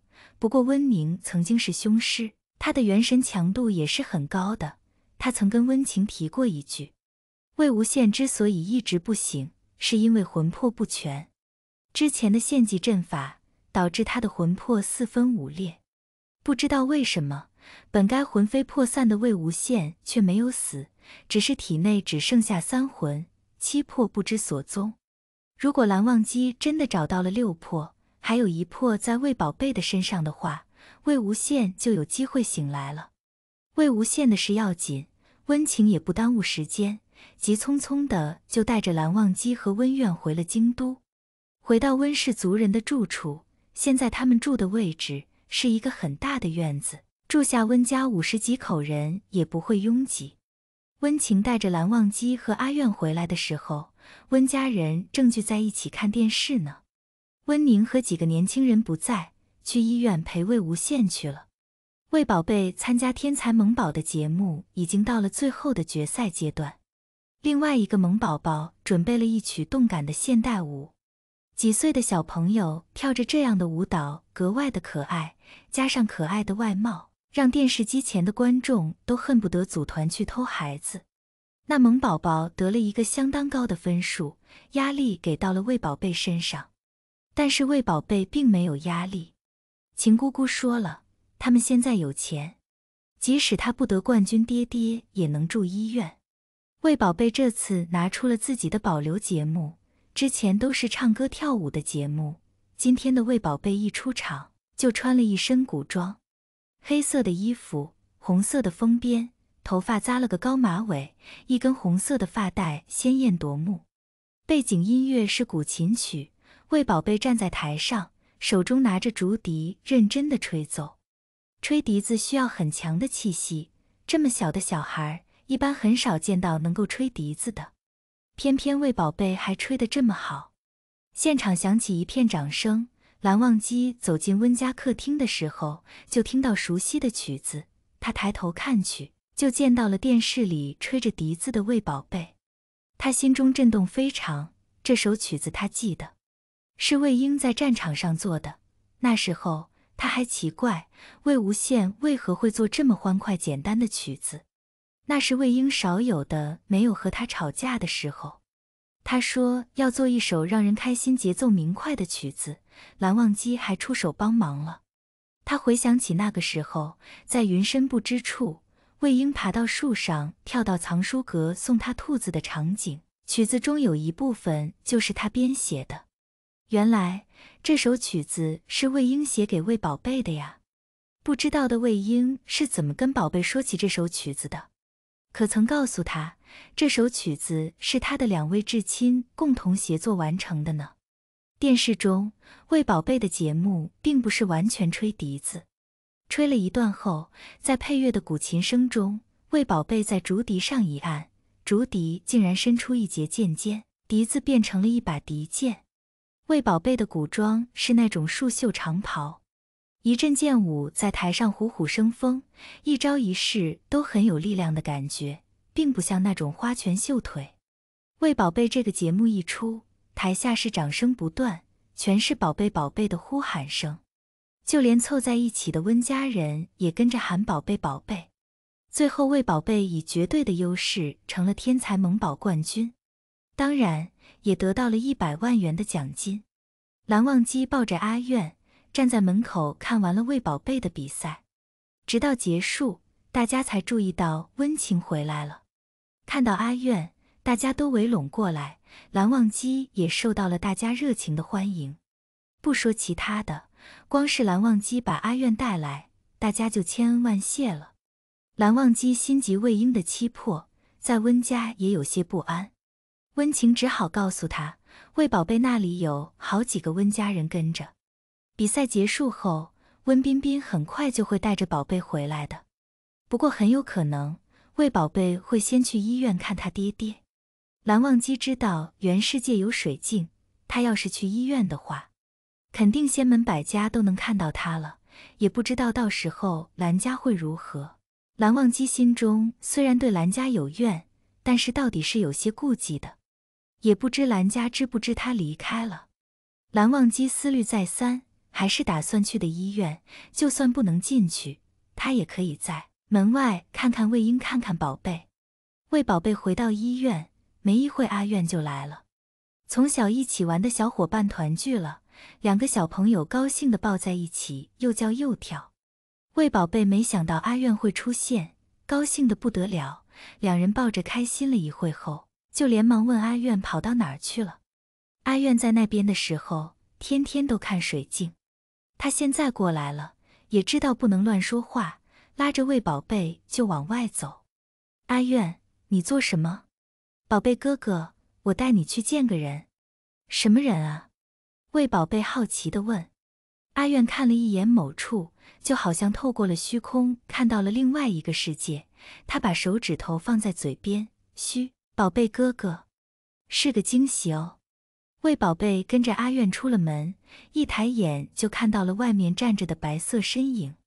魏宝贝惊讶地瞪大了眼睛：“你父父亲？”蓝忘机眼睛有些红，缓缓地蹲下身：“是我，宝贝，我来了。”宝贝也是个渴望父亲的小孩。早在乱葬岗的时候，他就偷偷地看着蓝忘机抱着阿苑，那时候就满眼的羡慕。看蓝忘机张开的怀抱，魏宝贝再也忍不住了，冲进了蓝忘机的怀抱，哇哇大哭了起来。呜呜，父亲，你怎么才来啊？爹爹一直不醒，我好怕。父亲，你是不是来找我们的？蓝忘机抱着孩子，眼里也忍不住落下一滴泪来。宝贝，对不起，我来迟了。我来找你们，再也不离开了。阿苑站在旁边，看着两父子抱头痛哭，也忍不住跟着哭了起来。蓝忘机手一伸，把阿苑也拉入了怀中。他力气大，毫不费力地将两个小朋友一起抱了起来。此时他已经收拾好了情绪，他可没忘记宝贝刚刚录完了节目才回来。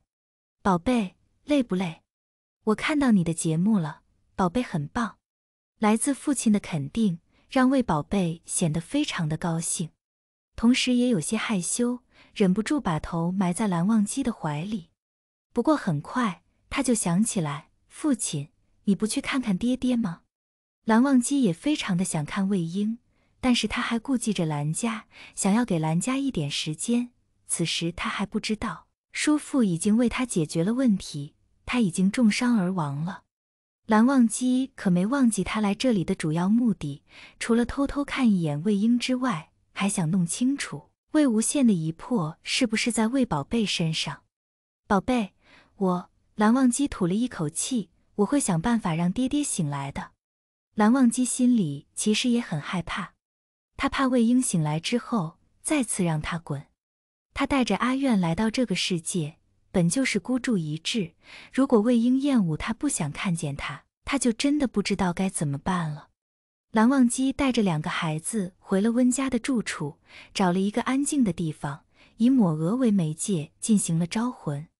果然不出所料，魏无羡剩下的一魄一直都附身在魏宝贝的身上。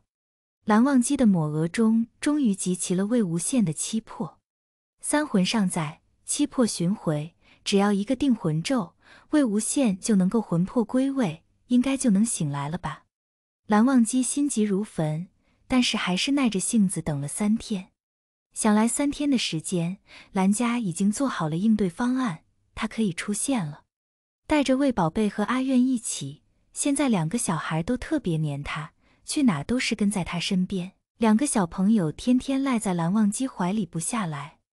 抱着两个孩子站在病房门外，蓝忘机深吸一口气，做足了心理准备，淡定地推开了病房门。同时，另外一个世界的天空上，水镜中出现了一个大家熟悉的身影，也让仙门百家一片哗然。仙门百家不久前才参加完韩光君的葬礼，这会就在水镜中看到了蓝忘机。本想说蓝家蒙骗大家，再一想。水镜中那些人好像都是已经死去之人，就算有人质问兰家，兰家也是一句“人都死了，他们也管不了”。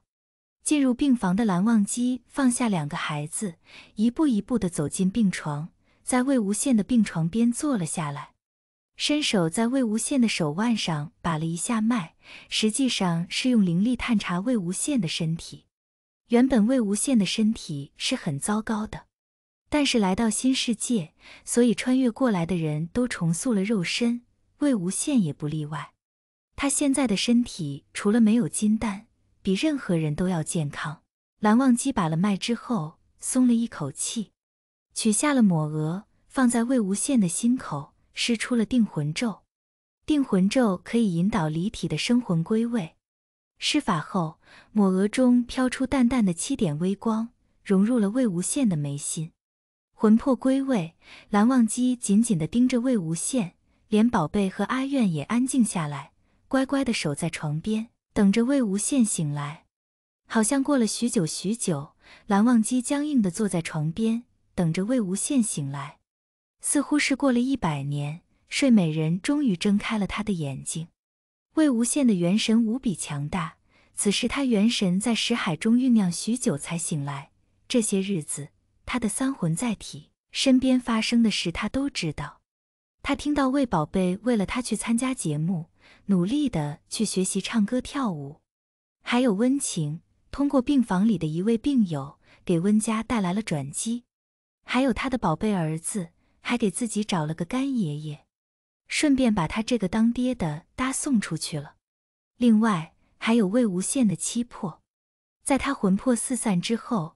七魄潜意识的去了他牵挂之处，一魄一直在阿苑身边。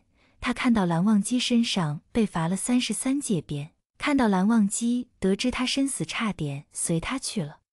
他的陈情盒随便被江婉银拿去了。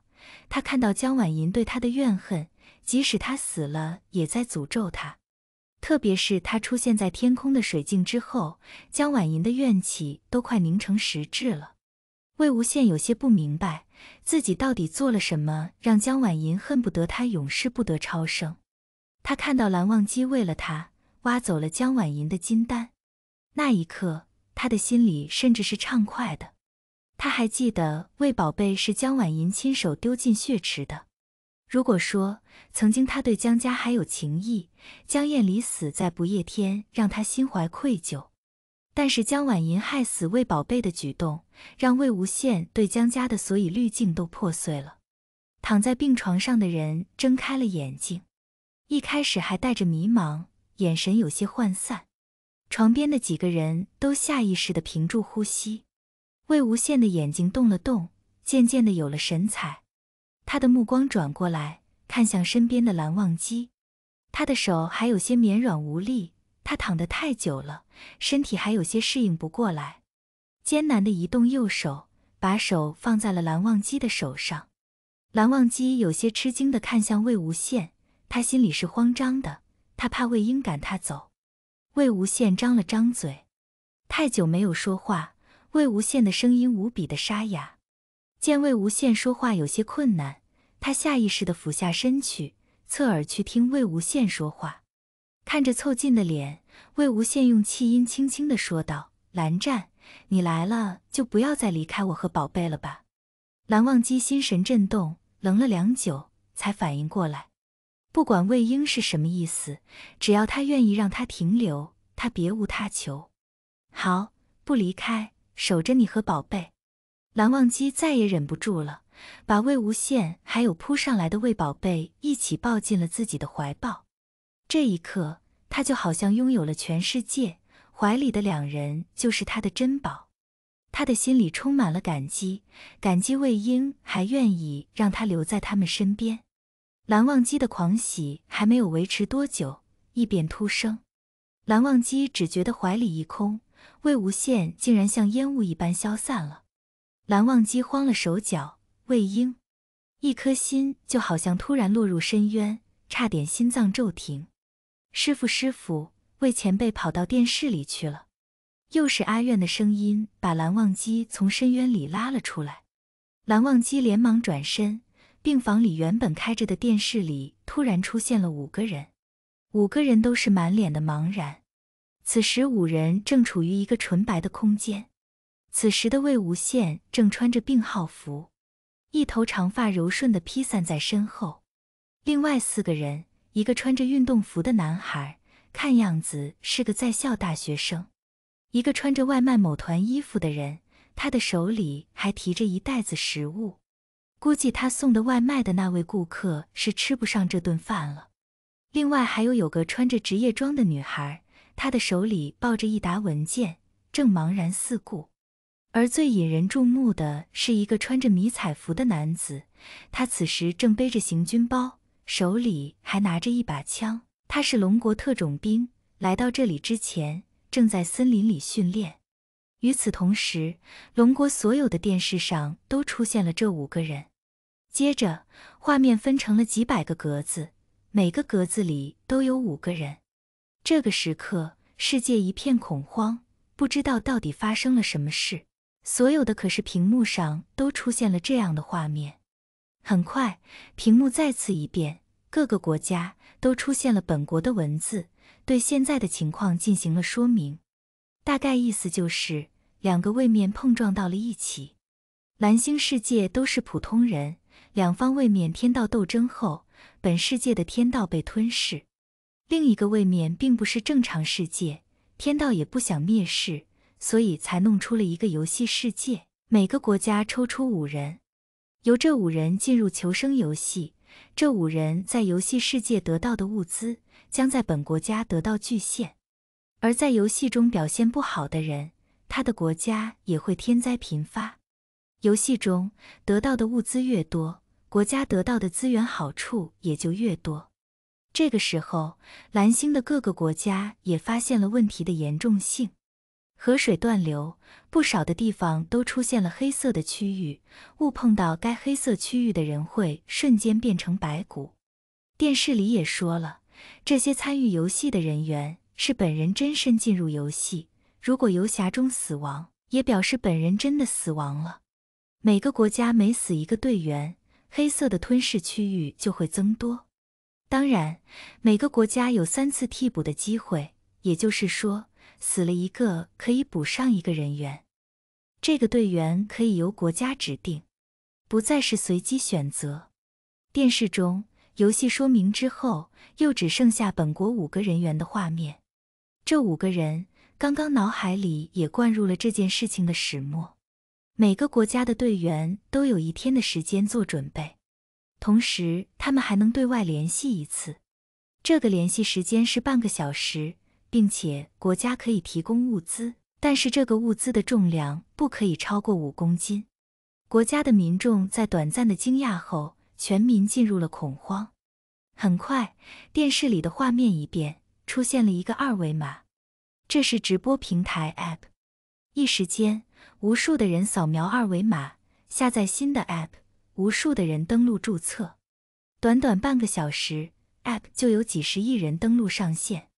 App 上，直播间按照国家分成了无数个直播间。而龙国的人全部都进入了自己国家的直播间，同时在线人数高达几亿。直播间被天选的五个人还不知道自己正被几亿人注视着，被无数的人品头论足。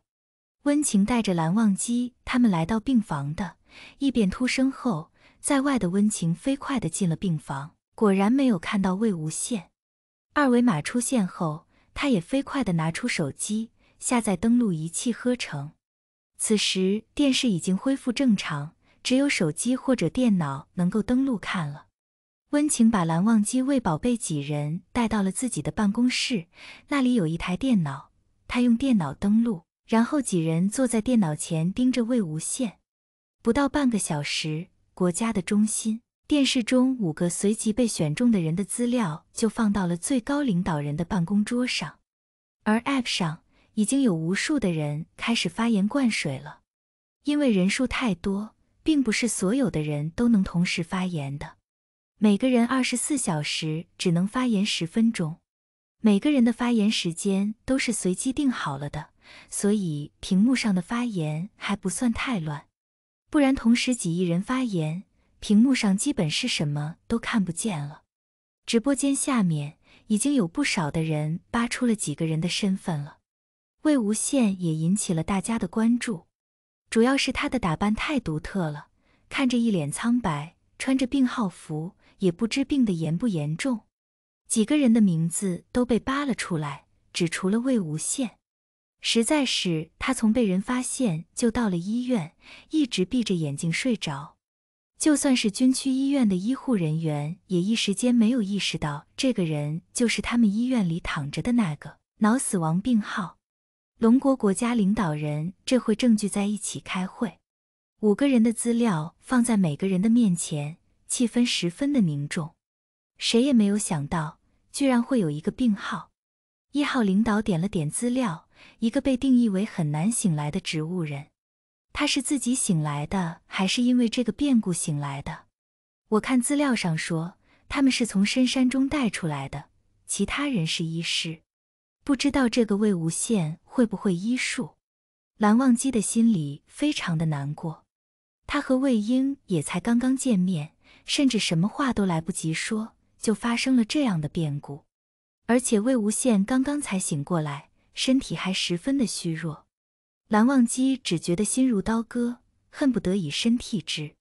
但是事情已经发生了，蓝忘机也不是那种自怨自艾的人。只会只能尽量补救了。他早就准备好要过来找魏婴，所以他身上的准备很是充分的。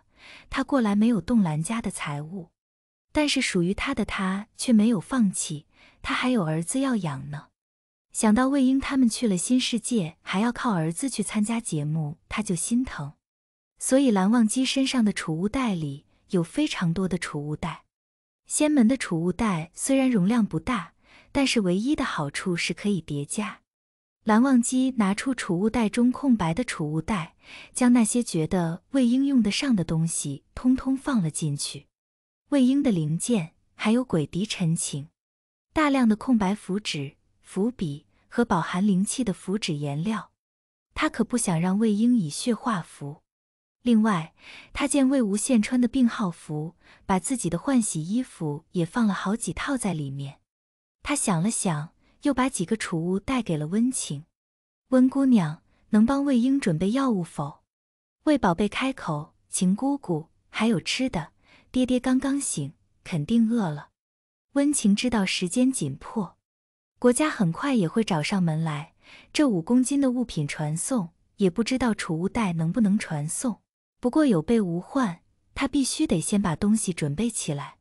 接过储物袋，温情。你们就在这里，我很快就回来。说完，温情就飞快地跑了出去。他得去给魏无羡多配点药物。同时，他还打开手机，在手机上订起了外卖。国家这边已经把五个人的资料研究了个透彻。他们看好的是那个叫席正的军人，大学生雷天明也不错。另外，外卖员江飞也还将就。女职员陈菲菲是个很娇气的小姑娘，呃，风评不太好，娇气又做作。在国家看来，这个陈菲菲就是个炮灰的命，很有可能还会成为另外几个人的拖累。而唯一让他们不确定的就是魏无羡这个病号。很快，有人上交了新的资料，是被卫星拍到的画面。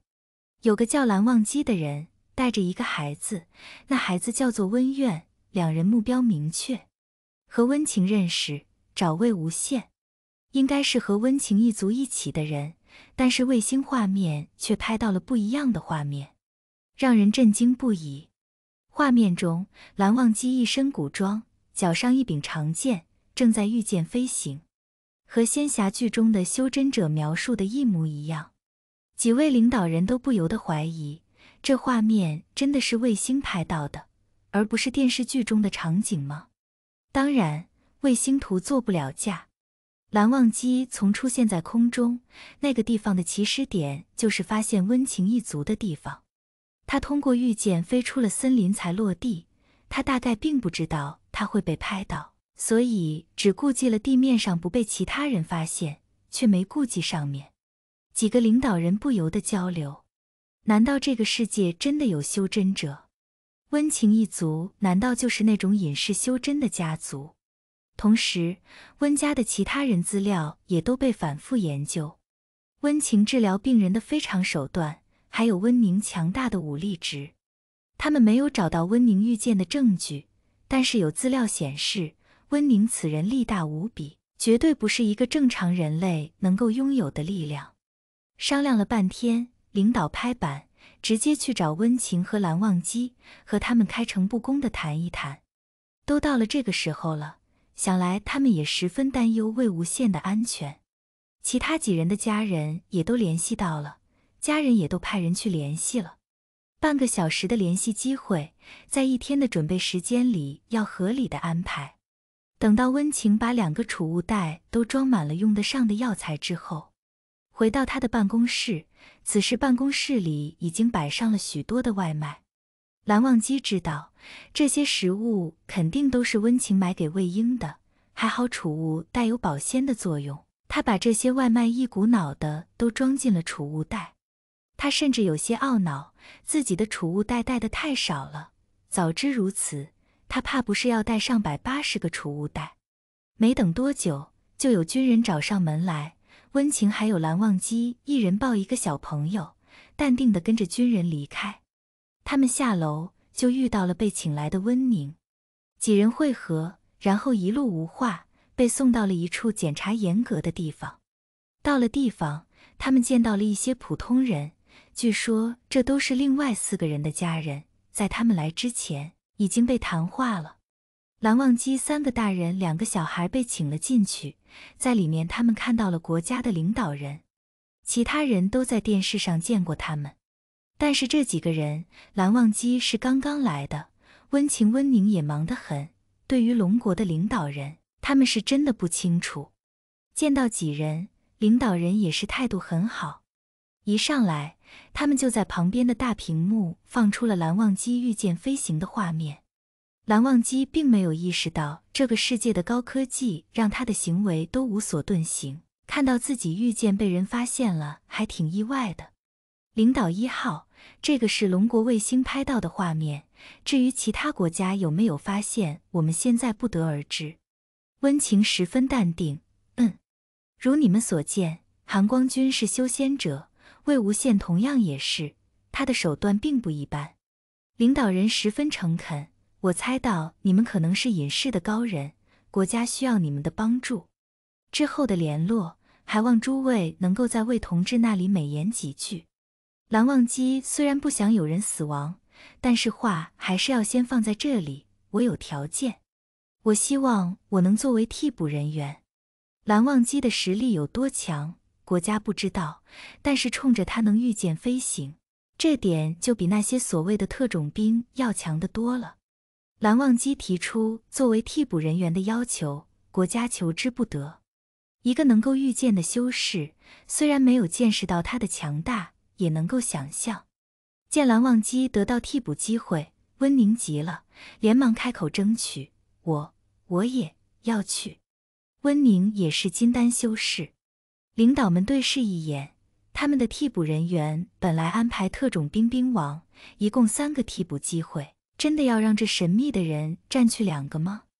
事实上，他们想不到，有了魏无羡和蓝忘机的组合，其他人是没有机会死亡了，温宁都不一定有机会替补上去。商量好了，蓝忘机又说了储物袋的事。领导人也连忙拿出了应对措施，只希望能够让那五人能够在之后的行动中有个好的发挥。看到五公斤的物资，还有储物袋放在其中，蓝忘机想了想，把陈情鬼笛从储物袋中拿了出来，将一把匕首放进了储物袋中。领导人并不明白蓝忘机为何要放一支笛子在物资中，但是这个笛子看起来寒气森森。绝对不是普通的笛子。话说，被选中的五个人，在经历了最初的震惊之后，大家慢慢的冷静了下来。现在他们还有二十四小时的准备时间。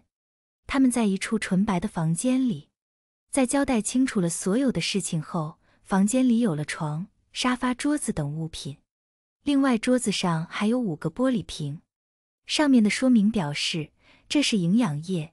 可以保证大家二十四个小时不会饥饿。作为军人的席正成了大家的主心骨。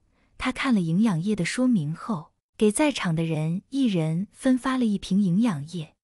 在场的四人都是经过现代社会信息爆炸洗礼的人，虽然不可思议，但是他们都是有基本认知的。除了魏无羡，而且他还是刚刚醒来，在床上躺了几个月，身体软弱无力。虚弱无比，他不太理解现在是怎么回事。不过他知道，现在有十二个时辰的准备时间。这十二个时辰，他们五人将会共处一室。另外，房间还有个小门，里面是卫生间。门上提醒道：“小门里属于隐私区域，也就是里面不会被直播出去。”拿到营养液后，听说了营养液的作用，魏无羡二话不说就打开瓶子，把营养液喝了下去。很快，饥饿的肚子里有了饱腹的感觉，魏无羡也渐渐生出了一些力气来。观察了一下房间的构造，魏无羡缓慢地走到沙发边上，窝进了沙发，闭上了眼睛。他刚刚醒过来，之前魂魄四分五裂，他知道的事情不多。他是大概知道他带着温家来到了新世界，他不明白为何献祭了灵魂的自己还能有完整的灵魂并活过来，但是能够看到活着的宝贝就是他最大的安慰。之前他还来不及查看自己的身体状况，现在没那么饿了，就窝在沙发上，闭着眼睛想要看看自己是什么情况。其他人见魏无羡一脸苍白的蜷缩在沙发里，闭着眼。心里都非常的担忧，他一身病号服，也不知是什么病严不严重。看这个样子，妥妥的炮灰，也不知道到时候能够活多久。陈菲菲鄙视的看了一眼魏无羡，可惜了，长得这么好看，也是个炮灰命。魏无羡闭上眼睛，用元神查看自己的身体。说实话，他非常意外，自己原本的身体有多糟糕，他是知道的。而现在，他的经脉畅通，如同新生儿一般。还有丹田，原本经过剖丹而被割断的经脉，通通恢复了原状。魏无羡狂喜，这么说来，他能够再次修炼了。他试着吸收灵力，却发现这个地方的灵力十分的充足。正要按照原本修习的功法运行吸收入体的灵力，他却发现脑子里多了一篇功法。魏无羡想了许久，才发现这功法是小时候他娘教给他的。他三岁的时候就倒背如流，只是后来怎么一点印象也没有了呢？百思不得其解。但是魏无羡看过功法后，就发现娘亲教的功法要比他原本修炼的功法好得多，于是他就放弃了原本的功法，改修这部新的功法。魏无羡一直闭着眼睛，在其他人看来，就是这个病号虚弱无比。其实魏无羡这个时候是在争分夺秒的修炼功法了，经脉畅通，而且还有过一次修炼的经验。几个小时后后，魏无羡就已经炼气入体了，充足的灵力，还非常的纯净，都不用怎么炼化。魏无羡沉浸在修炼中，炼气一层、二层、五层，一直到了炼气七层。魏无羡这才听到有人在喊他，睁开眼睛。才发现已经过去了好几个时辰了。国家那边也在 App 上找到了通话的入口，对被选中的五个人发起了通话请求。房间的一面墙上有一个非常大的屏幕，此时正响起音乐，上面有着接受和拒绝联系的选项。席正见此，连忙喊醒了所有在休息的人。其他人其实都没有睡着，一听到动静就起来了。只有魏无羡，席正叫了好几声，他才睁开了眼睛。席正皱了皱眉，面上闪过担忧，不过他还是觉得魏无羡的脸色比之前好了许多。那屏幕是触屏的，见大家都清醒了过来，席正走上前去，点击了接受通话。屏幕一变，他们就和国家那边建立了联系。与此同时，玄正世界天空中的水镜也变化了样子。天空中洒下了无数的光点，这些光点落入到了底下的人身上，飞快地融入了身体。然后玄正的人就发现他们的眼前多了一个屏幕，和水镜里那些人用的 app 一模一样，下面也有发言的地方。于是有大胆的修士试着发言，很快就看到了公屏上出现了自己说的话。不过这个发言也是有限制的。一人一天只能说一句话。魏无羡大魔头，我希望他很快就死掉。对，三千人死于魏无羡的手，他就是个杀人狂魔。真的有三千人吗？不夜天不是还有那么多人下来吗？三千人不是总数吗？死完了。当然，夷陵老祖啊，阴虎符一出，水雨争锋，三千都说少了，应该有五千人。都被魏无羡杀了。席正接通视频后，就见到了，在一个大房间里有着许多人，国家的几位领导人都在。首先是对他们表示了慰问，还有鼓励，之后又让他们五人的家人跟他们说了话。因为时间紧，每个人和家人也只有一两分钟的时间说话。那些家人无不是对着自己的亲人痛哭，觉得被选中了多半是回不来了。现在谁还没有被普及关于这种诡异降临的事？习正作为龙国的军人，被委以重任，几位领导人也是对他一番叮嘱，让他要带好队，让他保护好大家。对于魏无羡，国家实在是不了解，只能让蓝忘机他们自己来。看到蓝忘机。魏无羡一愣，很快他就开口：“蓝湛，你照顾好宝贝。他们之间的事情，现在并不是一个说开的好时机。想来蓝湛知道魏宝贝是他儿子后，一定会照顾好他的。蓝忘机、魏婴，你照顾好自己。陈情我带来了，还有制服不要用血，有颜料。我等你平安归来。温情、魏无羡，我们给你准备了东西。”我现在不知道能不能传过去，如果能收到，里面有给你准备的养生药，记得按时吃。魏宝贝，爹爹，你要快点回来，我和阿苑弟弟会给你加油的。温宁，魏公子，你最厉害。来的人每个都和魏无羡说了话，而这个时候，国家领导人也收到了消息，算是突发情况。因为 App 里突然出现了一些奇怪的 ID，那些人在说魏无羡是个杀人狂魔，杀了很多人。当然，国家这些领导人并不是那种听信传言人云亦云的人，他们看得出来，魏无羡并不是那种丧心病狂的人，他和家人之间的感情做不了假。甚至他的眼中都没有戾气，并不是那种杀人如麻的变态该有的表现。但是面对这个情况，领导人还是要询问的。你好，魏同志，刚刚收到的消息，App 里面出现了一些奇怪的人。领导人将一张纸放在了前面，魏无羡就看到了那些他们收集来的红色 ID 名的发言。总之，没有一句好话。魏无羡嗤笑一声，并不放在心上。不过他还是表态了：诚如你们所见，我们并不是这个世界上的人。我不知道你们这个世界把这种叫做什么，但是我们不过是一群被人逼得无处容身的可怜人。我没有想到我会被这奇怪的东西选中，但是我既然来到了这个国家，我的家人也在这个国家生活，我也愿意为龙国献出自己的一份力。但是同时，我也希望龙国能够保护好我的家人，希望在此期间他们不会受到打扰。龙国的人并不知道魏无羡到底多大的本事，但是看那些发言就能发现，魏无羡在他们那个世界。杀伤力不小于一台火箭炮，想来一个扛着火箭炮的人想要杀了三五千人，也不是一件容易的事。那三五千人也不是不会反抗的，站着让他打吧。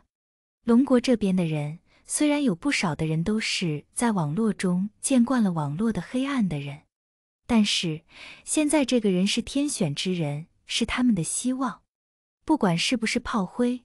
就算是死，也是要被定义为烈士的那种。当然，就有许多看不惯的人要开口怼回去，笑死！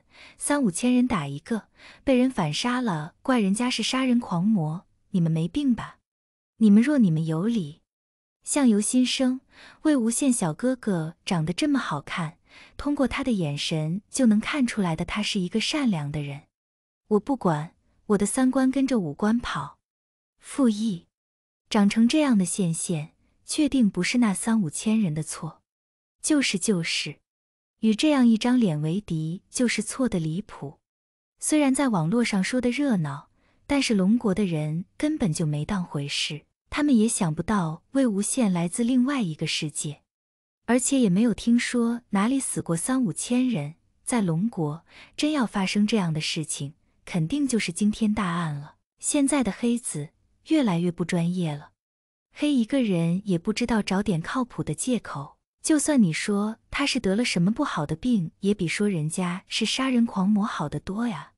听说那魏无羡还是军区医院的病人呢，人家军队会放这样一个杀人狂魔在医院还好好的治疗吗？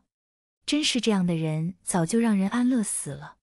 半个小时的时间很快就过去了，国家也跟五个人沟通好了。他们也看到了国家给他们准备的物资，另外四人心里都奇怪，不知道为何物资里会有一只笛子，还有荷包。如果说荷包装了药，还说得过去，笛子就有些奇怪了。总不能等下他们进行任务的时候，魏无羡还给他们吹曲子助兴吧？不过那都是魏无羡的东西，他们也不好说什么。人家有一公斤的份额，这两样也没多少重量的。联系完之后，两边也选择了转送这五公斤的东西，就很神奇，也不知道是怎么认定的。原本放在联系地点的五公斤的东西，眨眼间就在所有的人面前消失了，下一刻就出现在了魏无羡他们所在的地方。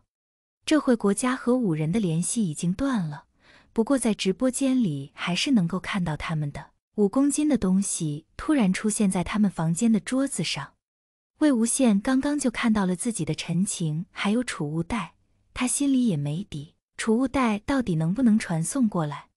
这会看到桌子上储物袋传送了过来，他心里暗自窃喜，也不知道蓝忘机给他准备了些什么东西。大家都围到了桌子边上，开始翻看起这些东西来，同时也商量着要怎么分配。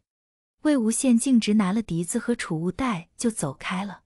仙门的储物袋需要用灵力或者是神识才能打开，普通人拿着也只是是一个普通的荷包。而且拿到储物袋，魏无羡就开始用神识查看里面的东西。没想到储物袋里还有好几个储物袋，另外还放着一封信。魏无羡抬头看了一眼其他人，转身就去了卫生间。卫生间是隐私位置，进入那个房间不会被直播出去。魏无羡来到卫生间后，就迫不及待地拿出了储物袋里的信，看信封上的字迹，就知道是蓝湛写给他的。魏无羡进入到卫生间后，就先取出了蓝忘机写给他的信。这个时候，蓝忘机也不会多说其他的，只是把储物袋中的东西都交代了一遍，另外也把他被人科普知道的事情告诉了魏无羡。之前魏无羡很懵。不知道这是怎么回事，但是在这个信息大爆炸的时代，所有人都能理解是怎么一回事。但是魏无羡不懂啊，一直都是在状况之外的，他又不知道该怎么问，好像大家都明白的样子。蓝忘机在信中就根据他被人科普后他的一些看法，大概就是两个位面碰撞，本世界天道被吞噬，另一界天道也没想着灭世。他本就是吞噬了天道，壮大自己，不至于把这个世界给灭了。但是两个世界又格格不入，所以才有了这样一场特殊的考验。他们这些人也可以说是天选之子了。通过考验之后，就能为自己的国家带来资源的分配；而通不过考验的国家，那么对不起了，就要被另一个位面所覆盖侵蚀。也不知道是冥冥中注定还是怎么回事。前一段时间，关于国运生存挑战的小说风靡了整个世界，所以突然降临这样诡异的事，全民都接受良好，所有的人都认为这事是理所当然。嗯，除了魏无羡他们这群外来者，知道有两个储物袋是准备给其他人员的，魏无羡也没打算现在就让他们知道储物袋的存在。先看看情况吧，有了储物袋，都算是龙国开挂了。别的国家就真的是五公斤物资呢。想着储物袋里叠加的一堆储物袋子，里面的东西五百公斤都不止了。前期还是低调点吧。看完了东西，魏无羡换下了身上的病号服。蓝忘机在信里没有多说什么，不过还是提了一句：“蓝氏抹额，非父母妻儿不可触碰。”却又在送来的衣服之上放上了他的抹额，其意思不言而喻了。魏无羡也早就知道了蓝忘机的感情，这个时候他不能与蓝忘机互诉衷肠，但是他穿好衣服后，却把蓝湛的抹额当做发带扎在了头上。蓝湛看到后，应该能明白他的意思吧？魏无羡从卫生间出来，大家都看向他。魏无羡耸耸肩，别看我。卫生间为大家准备了换洗衣物，衣服都是国家给准备好的。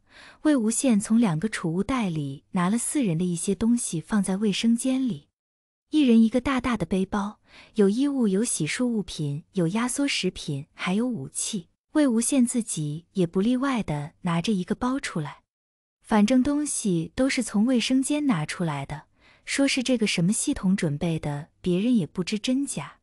至于其他国家为什么没有，那谁知道呢？说是准备二十四个小时，看起来时间还算充足。真要算起来，也不过是眨眼间就过去了。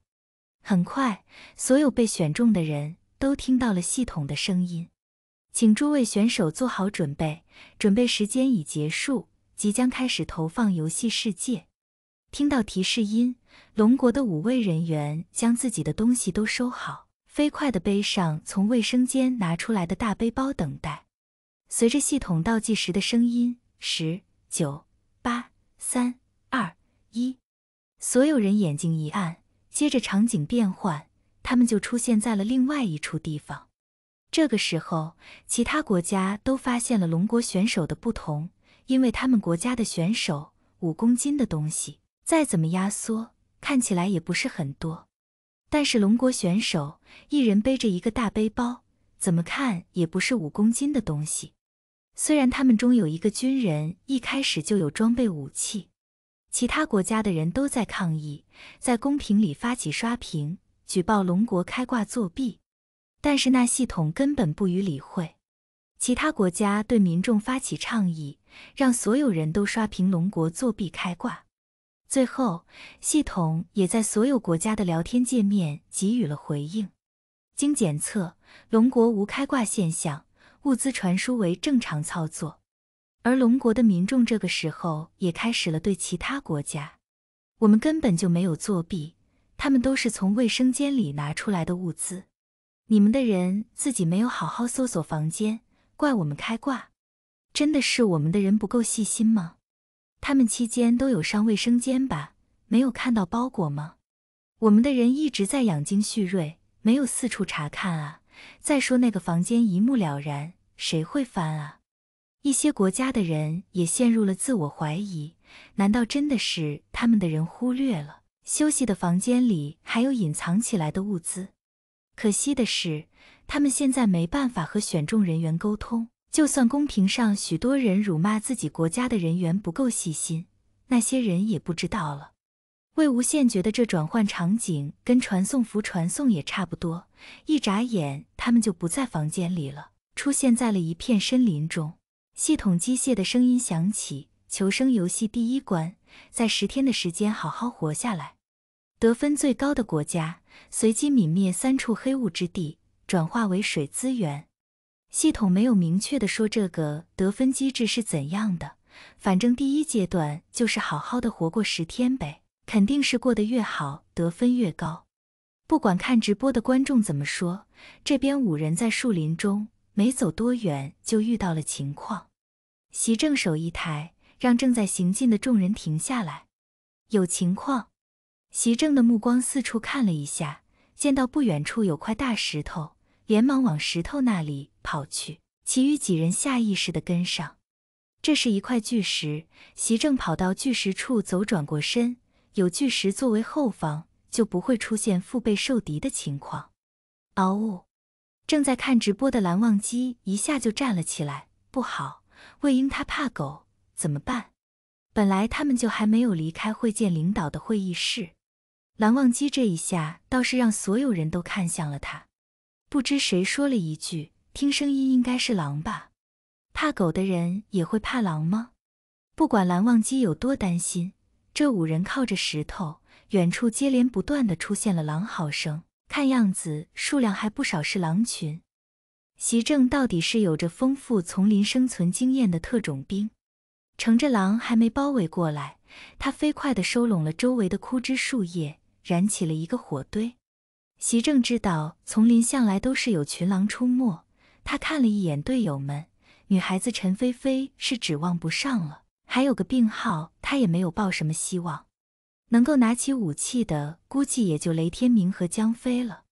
这个时候他们也不能跑，要知道在丛林里，人两条腿是跑不过野兽四条腿的。听到狼嚎声，陈菲菲吓得发抖，而魏无羡已经脚软了。他原本想着自己能够修炼了，怎么也不会成为拖后腿的那个人。谁知道一来就遇到了狼，那狼和狗长得也差不多。他只要一想到狗，整个人就汗毛直竖，浑身颤抖。大家都知道野兽都怕火，席正飞快地说道：“快快，多捡些干柴，烧一堆火，好歹能够震慑狼群。”魏无羡缩在后面，反应有点迟钝。但是听到席正说火，下意识的就从储物袋里摸出一把烈火符塞到怀里。在收到储物袋后，他可是在卫生间里躲着画了不少的符咒。有符纸，有颜料，不用他出鲜血。虽然他的修为才炼气期的修为，他没有修为都能画符。现在是炼气修士，符咒更是手到擒来。在卫生间躲半个小时。他就狂画了几百张符咒，要是被仙门百家知道了，他们也只能说一句：不愧是夷陵老祖。他画的只是些基础符咒，一些简单的五行符咒，烈火符、明水符、流沙符，还有让武器削铁如泥的锐金符、木属性回春符。不画不知道，魏无羡自己都不知道自己什么时候会这么多种类的符咒了。他找遍记忆也找不到这些符咒是什么时候学会的。他从这个新的世界醒来，总觉得有那么一些不对劲。比如说，脑子里新的功法，还有相当于一部符咒大全的记忆。他的记忆里好像是他娘教他的，但是想想就不对。他娘死的时候，他还不到四岁，谁会教一个三岁娃娃这么多东西啊？玄正天道深藏功与名，我自家崽子送出去给别人，还不能给他留点好东西啊？想想就心疼，两个多好的崽崽啊，却要送给别人家才能过得好好的。可能是怀中的符咒给了魏无羡勇气，他渐渐冷静了下来，脑子里突然出现一股记忆。他娘把他抱在怀里，坐在高高的树上，两人一起看下方他爹魏长泽斩杀狼妖。娘说：“阿英不用害怕，爹娘会保护好你的。”后来他在夷陵流浪，总是被恶狗欺负。他是个聪明的孩子，通过种种迹象表明，这些恶狗都是被人驱使，专门用来对付他的。他一开始是不怕的，是什么时候开始害怕的呢？是关于爹娘的记忆渐渐的在脑海中模糊，是自己越来越认命。不，他魏无羡什么时候认命过？就算万鬼噬身，他还不是献祭灵魂换回了儿子的命？他是修士，狼有什么好怕的？娘说了，他们永远都会保护好他的。魏无羡想着，宝贝还看着他呢，看到他这副怂样，会不会非常失望啊？魏无羡的目光渐渐清明起来，因为恐惧而无力的身体也有了力量。他从地上站了起来，旁人只看见魏无羡突然站起来，往小火堆里丢了张纸，轰的一声，小火堆一下就变成了大火堆，吓得火堆旁边的陈菲菲一屁股就坐到了地上。振作起来的魏无羡行动飞快。几张防御符飞快地拍出，给队友们的身上都加上防御符，这样能够免去他们受到伤害。借着身后的背包，魏无羡取出了一把长剑，正是他的灵剑。随便，伙计，我们终于能够再次并肩作战了。其他人的背包里都有武器，席正手里拿着枪。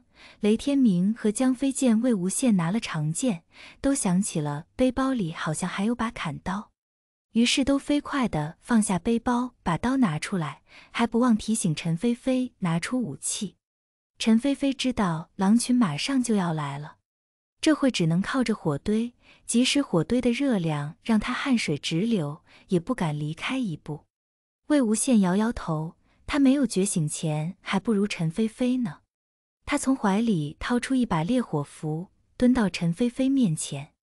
陈姑娘，我知道你害怕，但是狼都害怕火焰，你这里很安全。但是如果火灭了，也是很危险的。这个给你，你守着火堆，看到火焰小了就丢一张进去。记住，一张符可以燃烧的时间很长，不能浪费，不然就没得用了。刚刚魏无羡突然用纸让小火堆变成了大火堆，此时他拿出一叠黄纸，陈菲菲也不得不信。他接过一叠符纸，眼里也渐渐有了神采。好，我一定守好火堆。魏无羡，你要小心。娇气做作的姑娘，在生命受到威胁的情况下，终于有了让人放心的样子。其他人也不由得松了口气。要是一直捂着耳朵尖叫，那他们真的就没有办法了，总不能让他用高分贝音功吓退狼群吧？这是什么纸啊？是什么新型的燃烧材料吗？我觉得那些纸看起来很像符咒，我家爷爷去世的时候就贴了不少。符咒？怎么可能啊？说是什么耐烧的新型材料我还信，但是符咒，不要封建迷信啊喂！他们都被传送到另外一片空间了。你们还觉得这是迷信啊？我还在想会不会出现鬼魂之类的东西。嗯，这么一说，小说里恐怖降临也不是不可能。有没有可能是幻境啊？什么高科技的产物？这个时候，红色的信息又出来找存在感了。你们这些人真是没有见识。魏无羡是夷陵老祖啊，他最擅长的就是画符了。老祖，我是你失散多年的大徒弟啊，你还没教我画符呢。上面那位，你是真勇，不怕被追杀吗？要知道，跟魏无羡扯上关系的人，仙门百家都不会放过的。上面的那位你也很勇，这话也敢说？不说公平里怎么扯皮？魏无羡眼里已经出现了野兽的身影，无数的体型巨大的灰白色狼出现在众人眼前。见到巨狼的人无不倒吸凉气。江飞语气紧张地问道：“席席哥，我第一次见到狼，狼都这么大的吗？”狼群越来越近，似乎都能闻到他们那血盆大口中的腥臭气息。魏无羡看着这些狼，不由得想起幼年时撕咬他的那些恶犬。随便出鞘，银亮的剑刃闪到了大家的眼。那上面凌厉发出的光芒都被人下意识的忽略了。魏无羡手持随便冲了出去，他的身形无比轻快，冲入狼群，手中的长剑如同穿花蝴蝶一般，每一剑出就能收割一条生命。在魏无羡的眼里，这会他已经不是站在森林的狼群战场上了，他此时正站在夷陵大街小巷中，一条条恶犬被他收割。小小的魏婴被他救了下来，有了他的保护，不再害怕恶狗，而是拿着棍子当做长剑，玄妙的剑招的对准了恶狗。魏无羡下意识地跟着小魏婴手中的招式学习，他手中的随便好像更随便了，轻松的翻飞间，群狼肉眼可见的减少。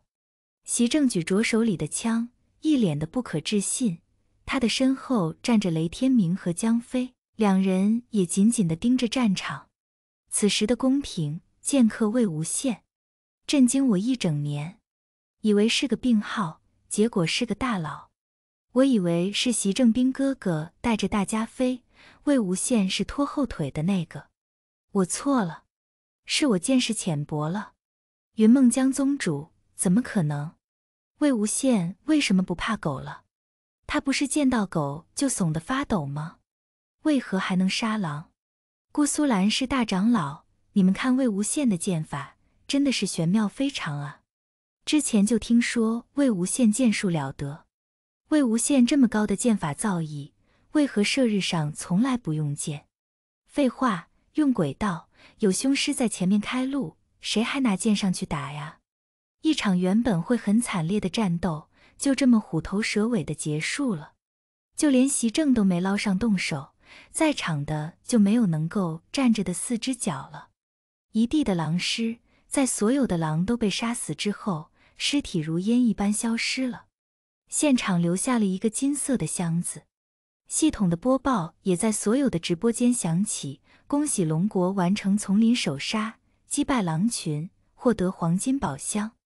这，魏无羡从那种奇妙的状态中清醒过来。茫然四顾，却不见任何的巨狼尸体。他的不远处还有个箱子，他下意识的上去打开了箱子，里面有三件东西：一个旗子，一个令牌，一个很大的保鲜盒。保鲜盒上写着“新鲜狼肉二十斤，保质期三天”。旗子旁边有个说明：安全旗，可建立安全屋，覆盖面积五十平米。而令牌就不一般了。上面一个大大的 T 字，一旁有说明。这个令牌的作用是换下一名成员，由替补队员补上，而不用非得等人死了才换人。魏无羡的眼睛都瞪大了，之前就知道能够有三次替补机会，要等到人死了才有可能换人，现在也就是不用死也可以换下人了。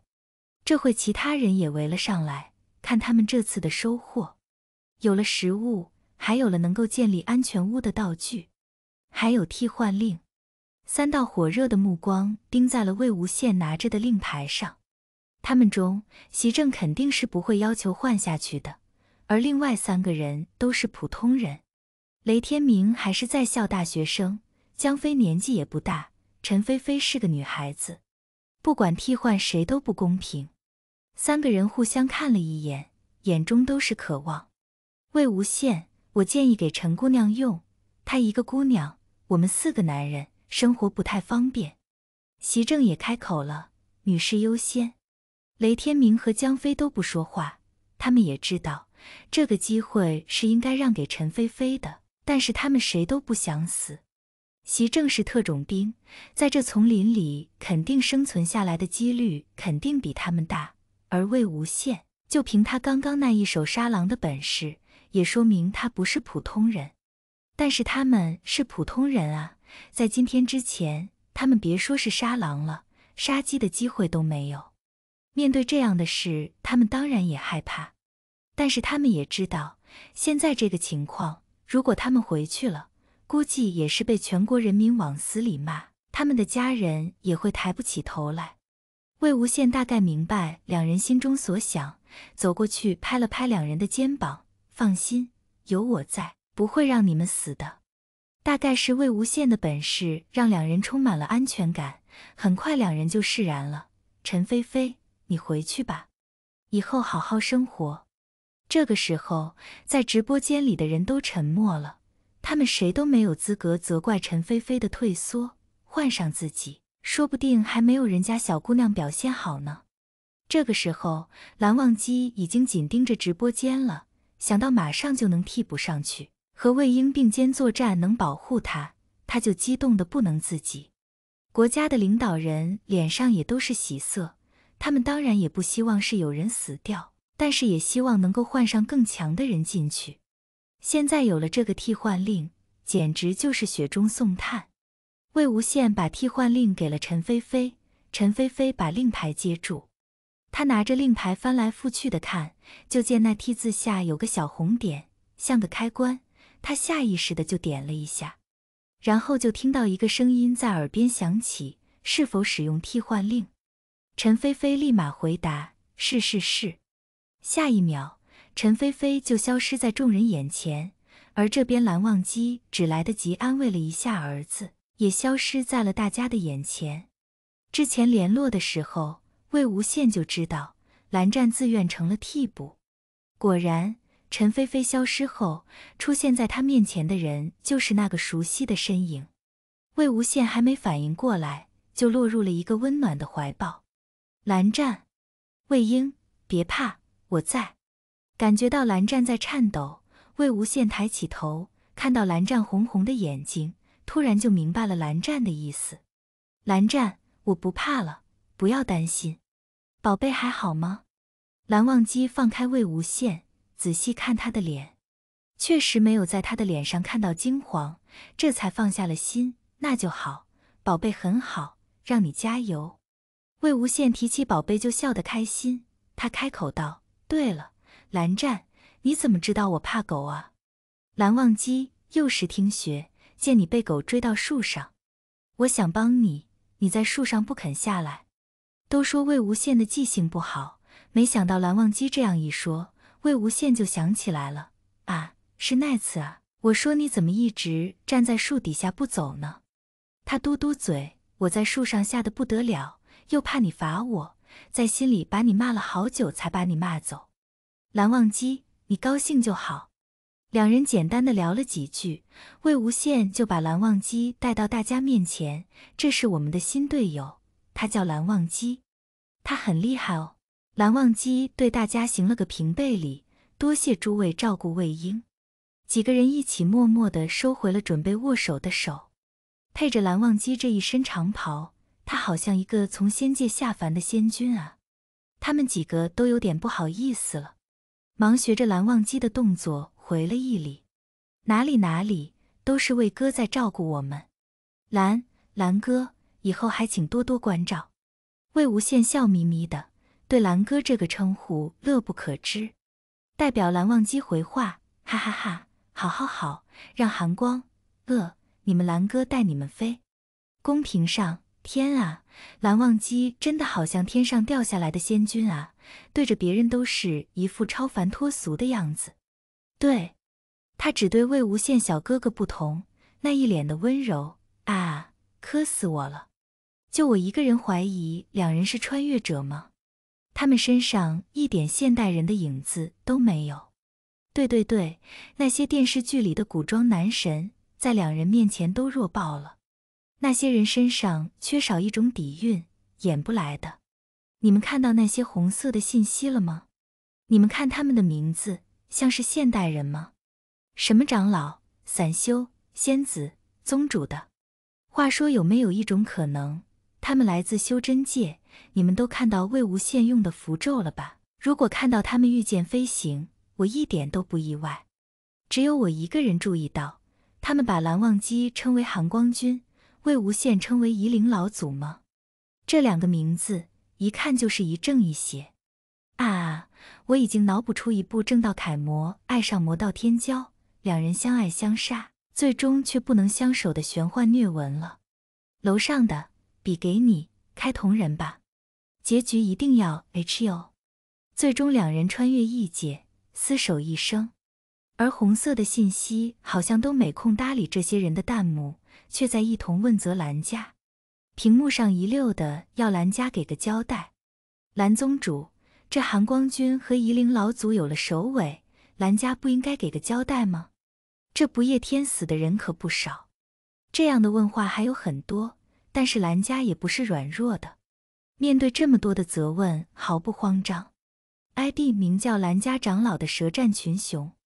不夜天，我蓝家同样损伤惨重。穷奇道：“金陵台，我蓝家死的人最多，金家不该给我蓝家一个交代吗？”我蓝氏寒光君从少年时便逢乱必出，在射日之争上更是立下赫赫战功。他和夷陵老祖在射日上关系如何，大家也是见过的。寒光君的名号也不是我们蓝家自己给的，而是众修士以及百姓给的。寒光君一生无愧天地，无愧家族。诸位都是参加过寒光君葬礼的。我蓝家寒光君已仙逝，来世之事，蓝家不管也管不到。寒光君一生未做过任何对不起仙门、对不起蓝家之事。若是有人污蔑寒光君身后名，蓝家必将追究到底。因为一个人一天只能发一条信息。这些话并不是蓝家大长老一个人的账号发出来的，而是不同的 ID 代发的。但是这蓝家态度强硬，仙门百家的人只能在心里腹诽一阵。公屏上竟然一时间没人说话了。这边魏无羡给大家介绍蓝忘机后，就准备继续赶路。魏无羡身后的大包已经到了蓝忘机的身后背着了。蓝忘机的理由是魏无羡刚刚才从昏迷中醒来。身体还虚弱，要不是魏无羡极力反对，蓝忘机都要把他也背到背上了。有了安全旗，他们就要继续赶路，在天黑之前找一个安全的地方作为晚上的夜宿的地方。说是在丛林里的存活十天，但是也不是在一个地方躲上十天就行。他们到了这个地方，身上就多出一张简易的地图，他们必须要在十天之内。赶到地图上指定的范围内就行了，路程并不是很远，正常进行的话，最多五天就能赶到。但是所有人都知道，这一路肯定不会太平。第一天就是狼群，后面还不知道会有什么样的情况呢。丛林里的环境十分的恶劣，一路上毒虫随处可见，地上也是荆棘丛生，几人走起来十分的艰难。蓝忘机手中拿着碧尘。在前面开路，不管是荆棘还是毒虫蛇蚁，都被他处理得干干净净。魏无羡在后面跟着，那就是如履平地。魏无羡空着手，在蓝忘机的身后，一边走还一边东张西望，那样子哪是来冒险求生的呀？根本就是来观光旅游的。魏无羡的身后跟着江飞和雷天明，两人的脸上都有着不敢置信的梦幻感。他们这是抱上大腿了，不用死了。见魏无羡一副很放心，还有闲心东张西望，他们也跟着放松下来。这就是背靠大树好乘凉。魏无羡就已经够厉害了，又来一个觉得魏无羡柔弱不能自理，一副保护者姿态的蓝忘机。看魏无羡那全心依赖、完全信任的样子，他们不能想象这蓝忘机到底有多厉害。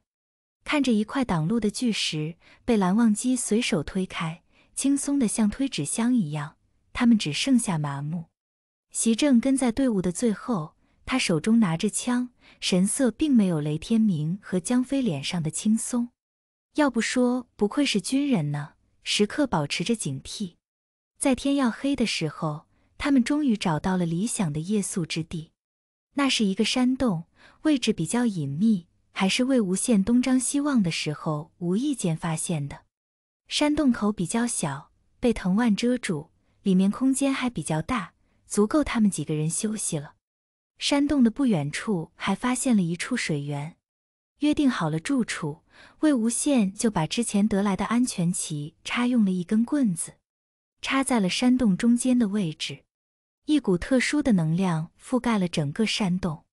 魏无羡一行人找到夜宿的营地后，早早的就弄了晚饭，吃饱喝足，然后休息了。山洞里有安全旗，晚上绝对的安全，这是安全旗的说明。但是大家也不敢全信。席正就商量大家轮流守夜，魏无羡没同意。本来就走了一天的路了，大家精神紧绷，已经很累了。要是还要守夜人，怎么受得了？这个时候就看他的本事了。魏无羡翻出符笔，也没有符纸，只是蘸取了特殊的朱砂颜料，在山洞四周的洞壁上画符，分八个方向画符，当即就设下一座符阵。设完了之后，他还特意让席正去外面测试。他心念一动，符阵起，席正在外面想尽了办法都进不来。这下他总算放心了，回到山洞就进了他自己的帐篷，很快就呼呼大睡起来。当兵的人都有一个说睡就睡的本事，只有休息好了，才有更好的精力去应对更多的危险。反而是江飞和雷天明都是熬夜选手，在帐篷里翻来覆去的睡不着。蓝忘机扎好了一个帐篷，打算给自己扎帐篷的时候，被魏无羡拦住了。蓝湛，我们用一个帐篷吧，我有话跟你说。蓝忘机的眼中闪过慌张的情绪，耳朵悄悄地红了起来。魏无羡把人拉到帐篷中，一张隔音符让帐篷里一点声音都传不出来。狭小的帐篷内，魏无羡盘坐着，手肘放在膝头上，双手撑着下巴，一脸闲适地看着一脸紧张的蓝忘机。蓝湛，坐啊，别担心。我用了隔音符，我们说话别人听不见的。蓝忘机在魏无羡的目光中盘坐了下来。魏婴，你身子可还有不适？魏无羡摇摇头，没了。我重新修炼了，现在是炼气七八层，身体棒棒的。蓝忘机抿抿嘴，想到他来到这个世界所消耗的能量，那是他从江婉银肚子里挖出来的金丹，他不能骗魏无羡。魏婴，我挖了江婉银的金丹，他以为魏婴会责怪他，会恨他浪费了他的金丹。他的目光低垂，不敢直视魏无羡的眼睛。嗯，我知道，挖得好。我的金丹在他的肚子里，我也膈应。嗯，蓝忘机惊讶的抬起头，有些不解。魏无羡笑眯眯的，蓝湛，我有没有告诉你，我七魄四散？每一魄所闻所见，我都是有记忆的。蓝忘机这下可不是耳朵红了，连脖子都跟着红了起来。这次真的是慌得六神无主。他不知道魏婴会怎么看他。魏无羡伸手抓住了蓝忘机的手：“蓝湛，你知道吗？宝贝的出生是一个意外，但是对我来说是上天给我的恩赐。我感谢上天赐给我一个孩子。”更感谢那个孩子是你的，他是你给我的珍宝，让我填平了心里的野望，让我的奢望有了一丝的安慰。蓝忘机的眼睛渐渐的睁大，他觉得自己可能陷入了幻境中。魏婴，你的意思是？魏无羡拉着蓝忘机的手，将脸放到他的手心里。笨蛋蓝湛啊，我喜欢你啊！难道你不知道我们孩子的名字吗？他叫宝贝啊。他抬起头看向蓝忘机，眼睛是炙热的情意。我喜欢你，不是因为你对我的付出而感激，也不是因为宝贝的存在，只是因为我魏婴喜欢蓝湛，单纯的喜欢你，爱你而已。我想陪你共度一生，想同你共同抚养儿子，想与你白头偕老。你明白吗？蓝忘机定定地看着魏婴。直到这个时候，他被巨大的惊喜淹没，却依然心中惶惶然，生怕这一切只是他的一场美梦。他小心翼翼地问：“可是，可是，你让我滚！说到这里，他委屈极了。他鼓起最大的勇气吐露自己隐秘的情感，得到的却是一声声的滚，这让他怎么能够释怀？魏无羡扑到蓝忘机的怀中，抬头亲上蓝忘机的唇，一下又一下，同时说道：“都怪我，那个时候我神志不清，我只是和脑子里的那些声音在斗争，听不到你的话。我说了多少句？”就罚我一句，滚亲你一口好不好？温香暖玉在怀，多年心愿得偿所愿。蓝忘机还能稳住，那就是石头做的了。他一手按住魏无羡的后脑勺，让他的唇再也不能离开。两人亲了良久，魏无羡都快喘不过气来了，才被蓝忘机放开。离开的时候，他下意识轻轻咬了一下魏无羡的嘴唇。魏无羡的脑海里灵光一闪。哈，蓝湛，百凤山那次偷袭我的是你吧？哼，我还郁闷了好久呢，我不干净了。蓝忘机倒是没有心虚，也哼了一声，嗯，身经百战。魏无羡理直气壮，对呀，身经百战，白净的蓝湛。蓝忘机抱着魏婴，心里一片滚烫。从这一刻开始，所有的苦难都过去了，往后余生。他的生命中最重要的人就是魏婴和魏宝贝，互通了心意。两人说开了之后，蓝忘机就铺好床，搂着魏婴睡觉了。他觉得魏婴身体弱，需要好好的休息。魏无羡有些睡不着，他的心情激动还没有平复下去，哪能说睡觉就睡着呢？但是有一种关爱叫道侣觉得你很虚弱，需要休息。于是他也只能闭上眼睛，窝在蓝湛的怀里，开始了修炼。功法一遍又一遍的运行，抱住他的蓝湛已经睡着了。睡梦中，蓝忘机似乎也学会了一种新的功法，无意识的运行着经脉中的灵力，形成一个新的循环。两个人一起修炼，渐渐的，紧贴在一起的两个人体内的灵力循环成了同步，然后形成了大循环。灵力在两人的体内来回运行，一连运行了好几个周天，直到魏无羡的经脉隐隐作痛，他才停了下来。蓝忘机的灵力也随着魏无羡的收工而蛰伏了下去。魏无羡猛然惊醒，才发现自己的修为像是坐了火箭，之前的炼气八层一举进入了筑基五层。魏无羡一动，蓝忘机也醒了。刚刚隐隐入梦，这一醒来。梦中学到的功法清晰地印在脑海，再一看修为，他的金丹居然消散了。此时他的境界竟然是新功法中对应的心动初期，以修理元神为主，凝练神识，从而达到神识外放的境界。魏无羡以为自己修炼把蓝湛的功力给吸收了，而蓝忘机确实是金丹消散，一部分灵力提升了魏无羡的修为。不过蓝忘机一点也不觉得可惜，如果可以，他宁愿把全部修为都给了魏婴。不过现在也很好，他也算是重新修习新功法了，而且不用从头开始。安慰了魏婴一番，两人紧紧地抱在一起，在这荒野的山洞中无比的温馨。渐渐的，魏无羡困意上头，眼看就要闭眼睡过去，直到听到一声凄惨的尖叫。划破了宁静的夜晚，蓝忘机和魏无羡飞快地从帐篷里冲出来。怎么了？怎么了？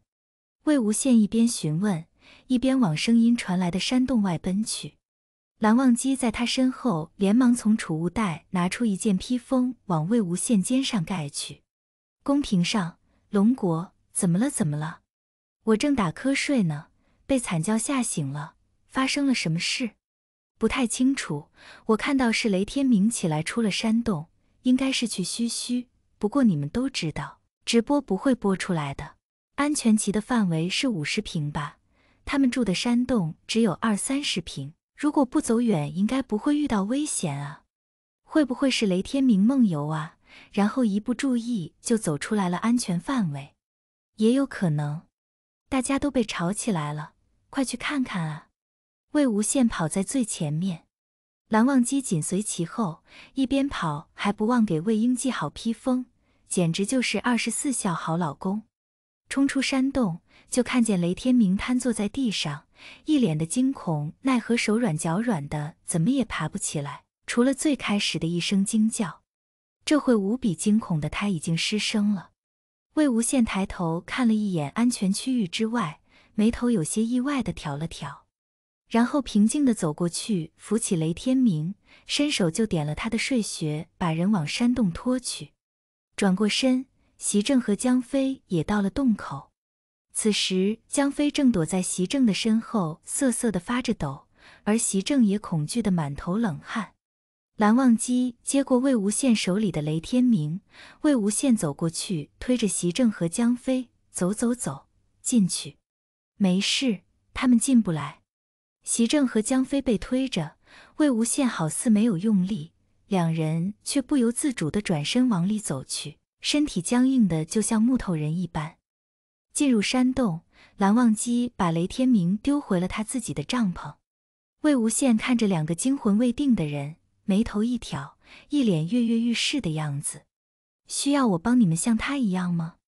魏无羡指了指雷天明的帐篷。席正和江飞齐齐摇头。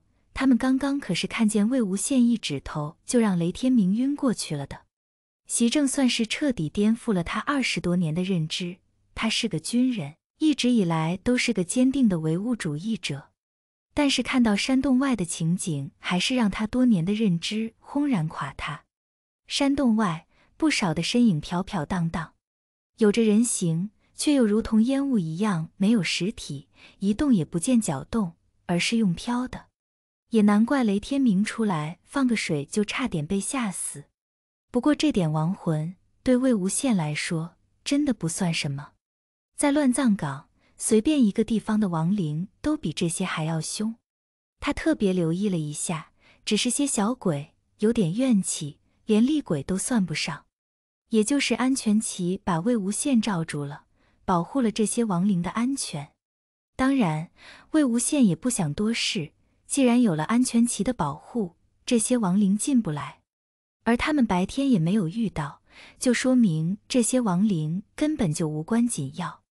当然，要是魏无羡的想法被那些没有找到安全旗、一个晚上都在亡命狂奔的他国队员知道后，一定会唾他一脸。而直播间里也不平静，很多人都睡了，但是也有不少的熬夜党，一边开着直播，一边正常的熬着自己的夜。从听到雷天明一声惨叫后，那些开着直播的人都把注意力放到了直播间。雷天明是出门放水，所以直播镜头是在山洞内。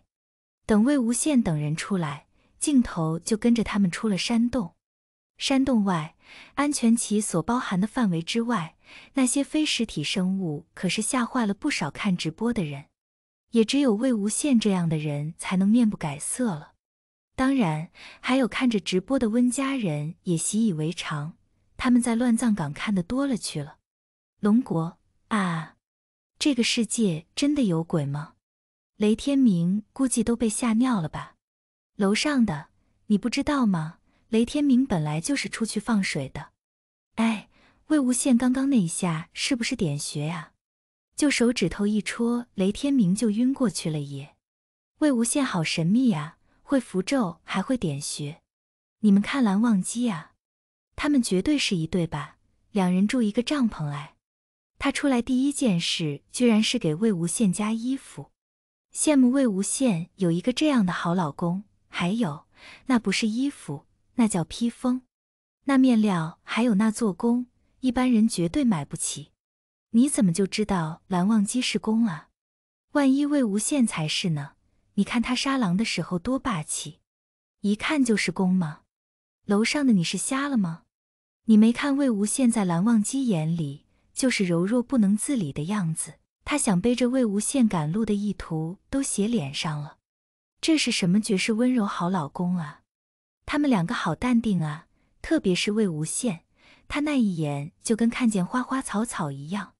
难熬并没有的一夜过去，许多的国家都损失惨重，甚至有的国家团灭，全部换上了替补人员。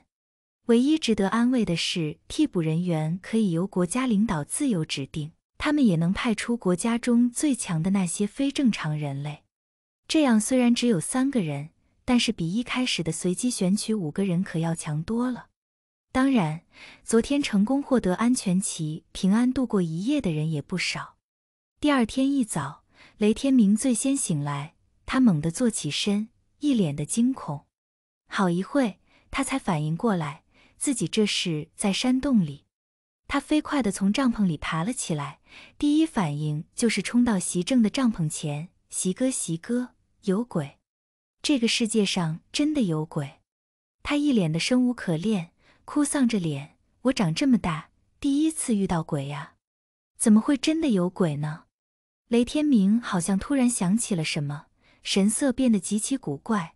席正都忍不住好奇，他想到什么了？怎么了你？雷天明苦着脸，我经常和同学们去玩鬼屋，你说里面会不会混进去了几个真的？而我们还傻傻的以为都是工作人员假扮的。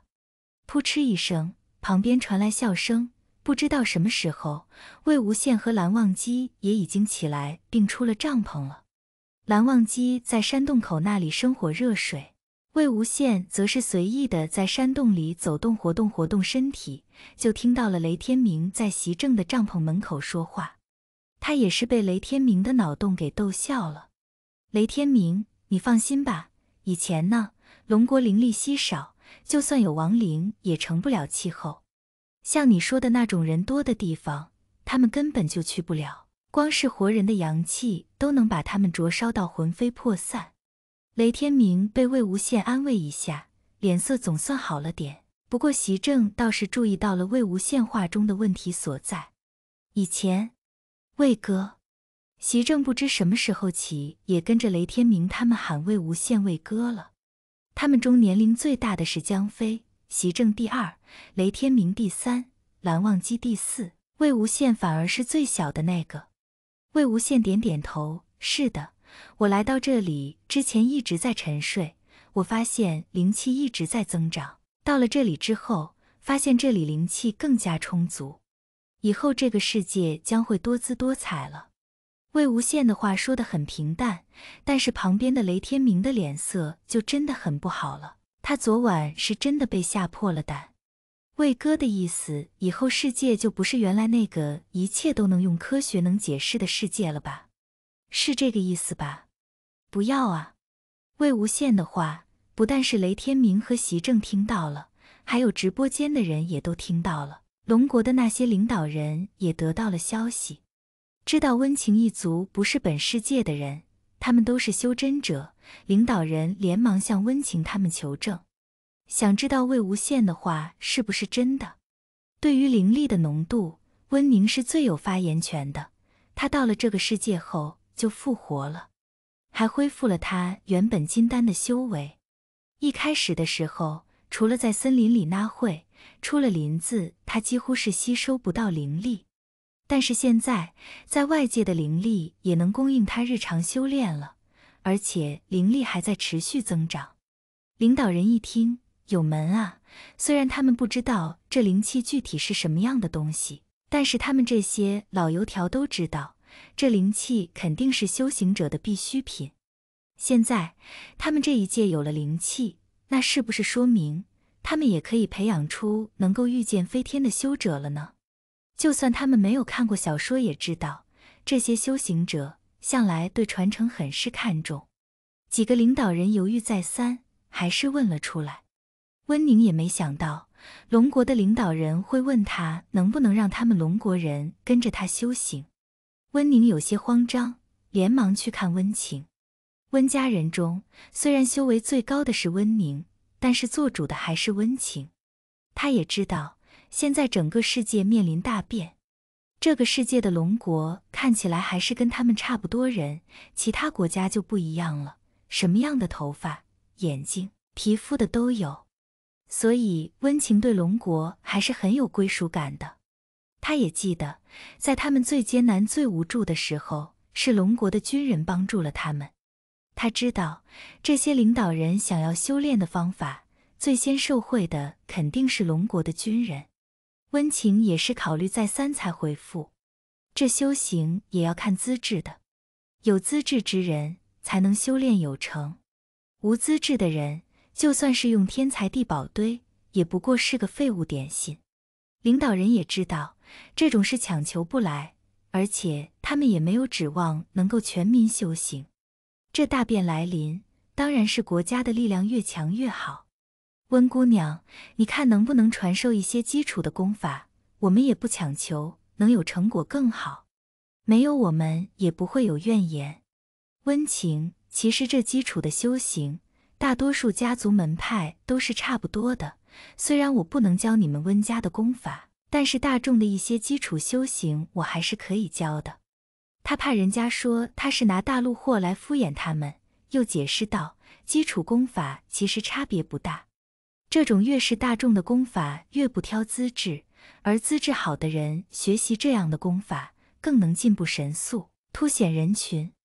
温情在心里吐槽，不说别的，魏无羡之前修的就是这样的大众功法，居然不是江家的功法。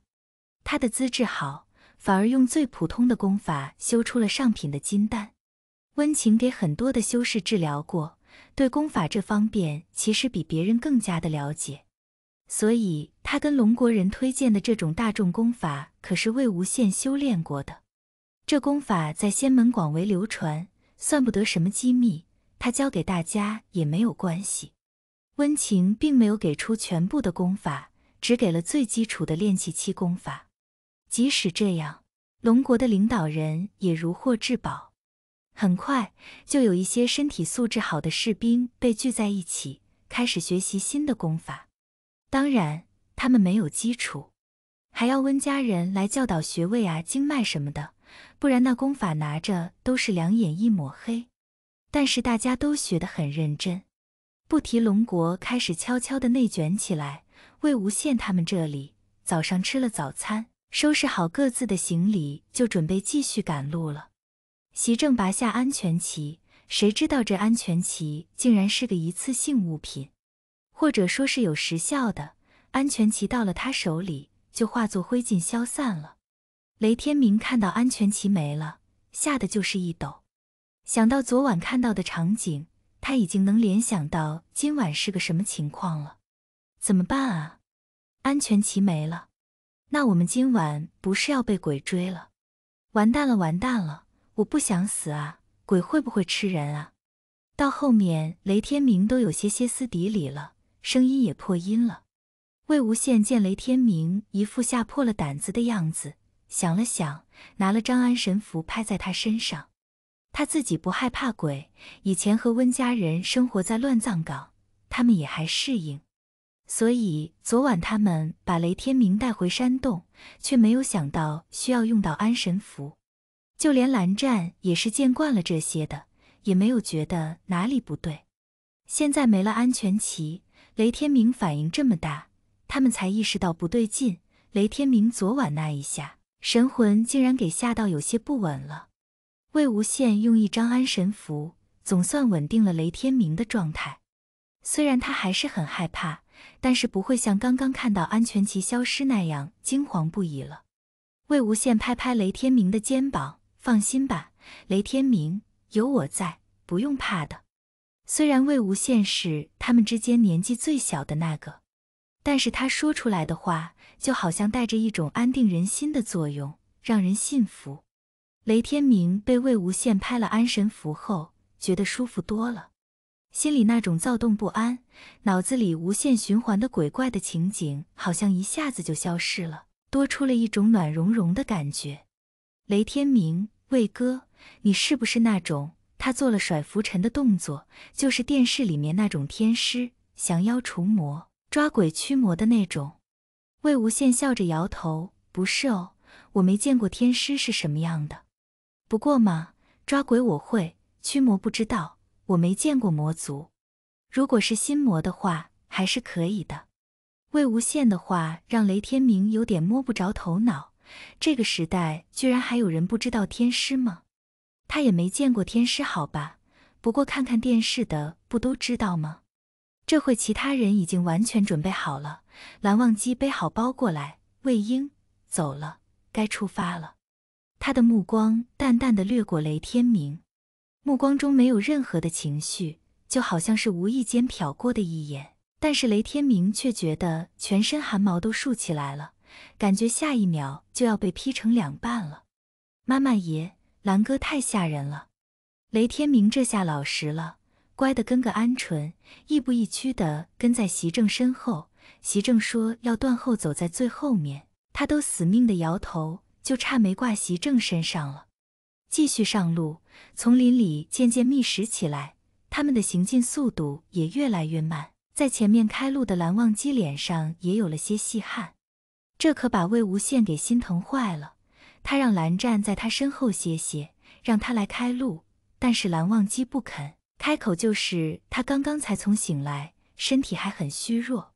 上午的路上没有什么大的危险，也就遇到了几条毒蛇，被耳聪目明的蓝忘机一剑斩了，毒蛇都没来得及对他们发起攻击。另外还有一头豹子，也是被蓝忘机给杀了。这个世界里，这些凶兽死了之后就会消失，不过多少还会留下一点东西。豹子给众人留下的也不过是十斤的肉食，他们五个大男人。估计也就只够一天吃的，其他国家已经有人饿肚子了。魏无羡他们因为有储物袋的关系，现在每个人的背包中都还有着充足的食物，即使这十天他们没有任何收获，也不会挨饿。几人正走着，蓝忘机却突然抬起了手，阻止了大家前行的脚步。魏无羡也察觉到不对，立马让大家噤声。两人都侧着耳朵去听动静，同时林子也开始喧闹起来，不停的有小动物从他们的面前跑过。魏无羡和蓝忘机对视一眼，脸色都比较凝重，看样子是来了个大家伙。他的目光飞快的在四处搜寻，突然他的手一指：“快，你们躲到那里去！”魏无羡手指的位置有一块巨大的石头，石头的底部有点不平。所以有了一个小空隙，挤上几个人应该问题不大。远处的动静越来越大，席正也知道可能是来了对付不了的东西，连忙一拉雷天明，叫上将飞往魏无羡指的方向跑去。魏无羡和蓝忘机也跟了过去，见三人都藏到了洞底，魏无羡飞快的在他们的周围拍下隐藏气息的符咒，另外他又拿出防御符。给每个人的身上都拍了一张，因为席正他们都是普通人，根本就不会用符咒。魏无羡想给他们爆裂符都没有办法。看到席正手里的枪，他突然灵机一动，将几张符咒递给席正，并交代他等下将符咒直接贴到枪口，看情况不对就直接开枪。魏无羡交代完后，蓝忘机搬了一块巨大的石头过去，靠在巨石的旁边。这样，席正他们藏身的地方就只留下一人能通过的小洞口，刚刚好可以给席正埋伏开枪。等将其他人藏好后，蓝忘机对着魏无羡点点头，两人在龙国人的面前正式展露了他们超凡的一面。只见两人同时招出一柄长剑，那长剑凌空漂浮在空中，两人轻轻一跃，就稳稳地站到了灵剑之上。魏无羡之前就发现筑基期后，他的灵力充足，并且新的功法不像原来的功法，灵力只能使用身体本身的。新的功法在运行中还能一边消耗一边补充，并且法术都是用身体中的灵力调动外界的灵力。和原来的功法比起来，即使他筑基期能够预见的时间，也比原来的金丹期时间要长得多。两人御剑升上高空，向着发出动静的地方飞去。远远的就能看出，那是一条体积巨大的蟒蛇，正直直的向着席正他们藏身的位置而来。魏无羡和蓝忘机两人无比的默契，同时向着蟒蛇的前面落去，拦截住蟒蛇。那并不是一条普通的蟒蛇，魏无羡一眼就认出那是一只妖兽，虽然比起屠戮玄武还差一些。但是也不是一般妖兽可比的，魏无羡大声的说道：“蓝湛，好久没有和你并肩作战了，让我们再次联手，让这大家伙看看我们的厉害。”蓝忘机好久没有见过这么张扬自信的魏无羡了，虽然还没有结丹，但是他已经找回了年少时候的肆意洒脱。好，玉剑在空中，蓝忘机手一挥，一张古琴凭空出现。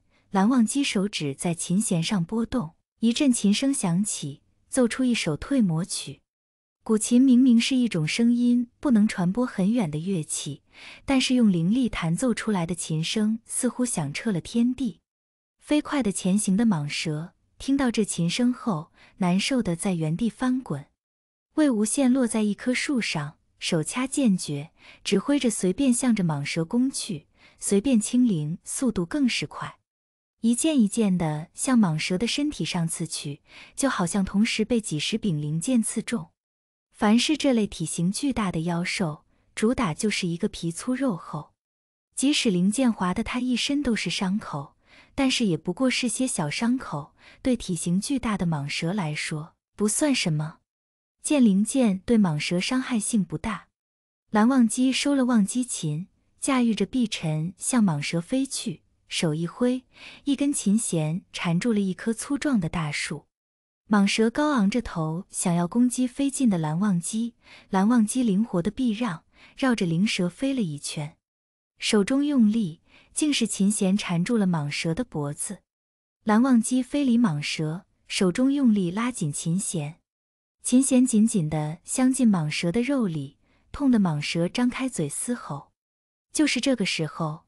魏无羡眼疾手快，一枚爆裂符准确地丢进了蟒蛇张大的嘴中，同时枪声响起，是席正。他的位置真好，能够看到蟒蛇。见蟒蛇张嘴，连忙把魏无羡给他的符咒贴到枪口，对准蟒蛇的嘴巴就是一枪。魏无羡丢的爆裂符，还有席开枪送过来的爆裂符，还有子弹的伤害，全部都在蟒蛇的嘴里炸开。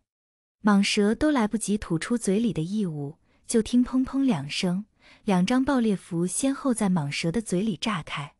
蛇嘴里可不像蛇皮那么坚硬，从内部爆破，蟒蛇的一颗头都被炸烂了，当场死亡。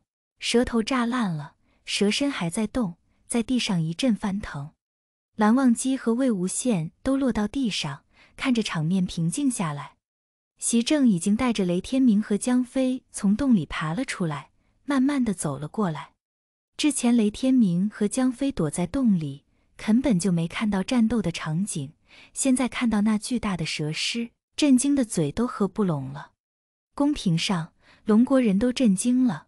虽然已经早就知道蓝忘机和魏无羡不是普通人，是来自另外一个世界的修行者，但是那是御剑飞行哎。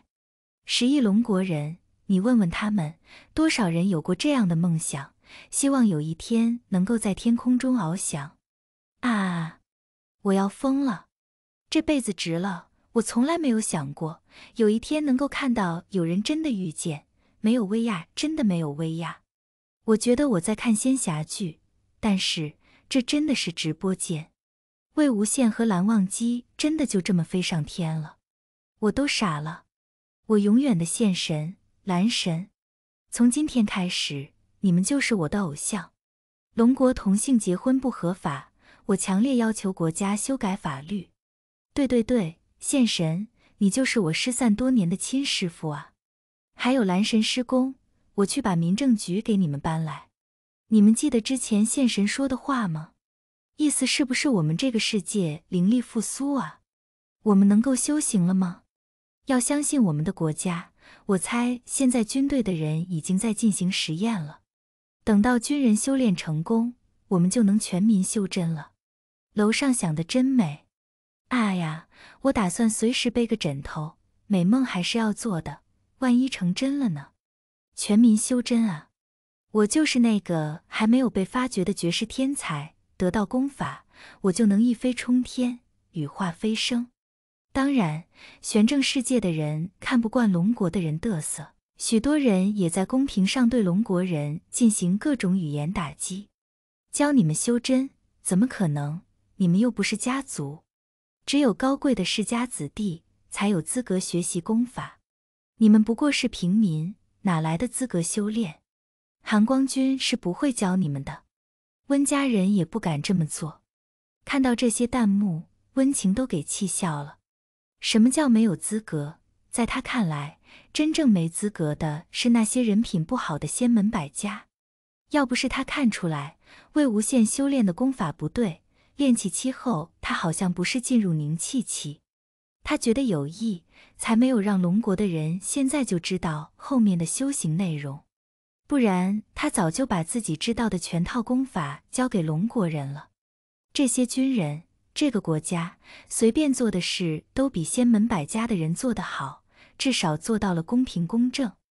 魏无羡和蓝忘机在斩杀了巨蟒后，眼看着巨蟒消失，又得到了一个黄金宝箱。魏无羡可惜的咂咂嘴：“怎么了？”蓝忘机问。魏无羡：“没什么。”我就是有点可惜了，这么好的蛇皮拿来练剑铠甲多好。蓝忘机看了看面前体积不小的宝箱，也许箱子里有。魏无羡点点头，可能吧。要不蓝湛你来开，看看运气。蓝忘机点点头，人都没动，手指一掐诀，面前的宝箱就开了。这次的宝箱打开，里面的东西塞了满满一箱子。魏无羡一眼就看见卷得整整齐齐的一卷蛇皮，他欢呼一声，飞快地跑过去把蛇皮抱起来。太好了，蓝湛，我给你做套内甲。好像意识到不对，在场的还有这么多人呢。他又嘿嘿一笑，这么大一卷，可以做好几套内甲呢，每个人都有。不过先说好啊，我得先把蓝湛的做好，再给你们做。那巨蛇的防御力，大家也看到了，飞剑那么快的速度，都有些不能破开蛇皮的防御。如果用来做铠甲，防御力肯定也非常的高。除了蓝湛、席正三人都收获了龙国人无数羡慕的目光。他们的现神可是修真者，会御剑上天的那种。他做出来的铠甲能是普通铠甲吗？高低也得是个法器法宝之类的呀。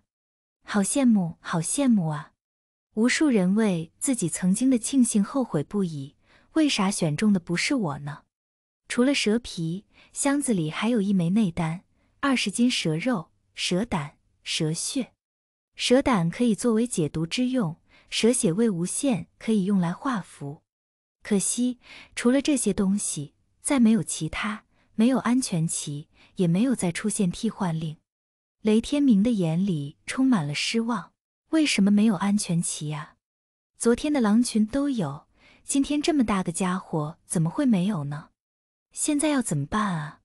魏无羡撇了撇嘴，要那玩意干什么？保护那些鬼吗？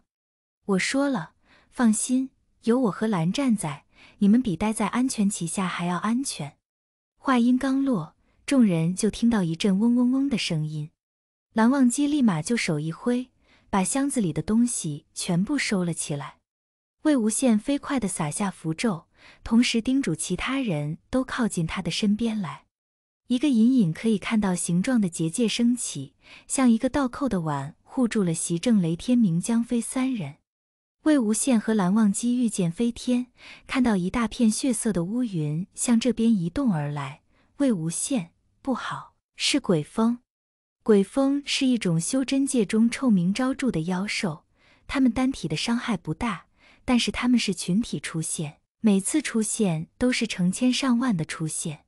鬼风的巢穴一般都是在阴气极重的墓穴中，经常以腐尸残魂为食，所以被鬼风蛰中后会中尸毒。而鬼风十分的嗜血，每次出动的时候，所过之处，经过的生物就只剩下白骨。而且他不但食尸，还噬魂。总之，鬼风非常的可怕。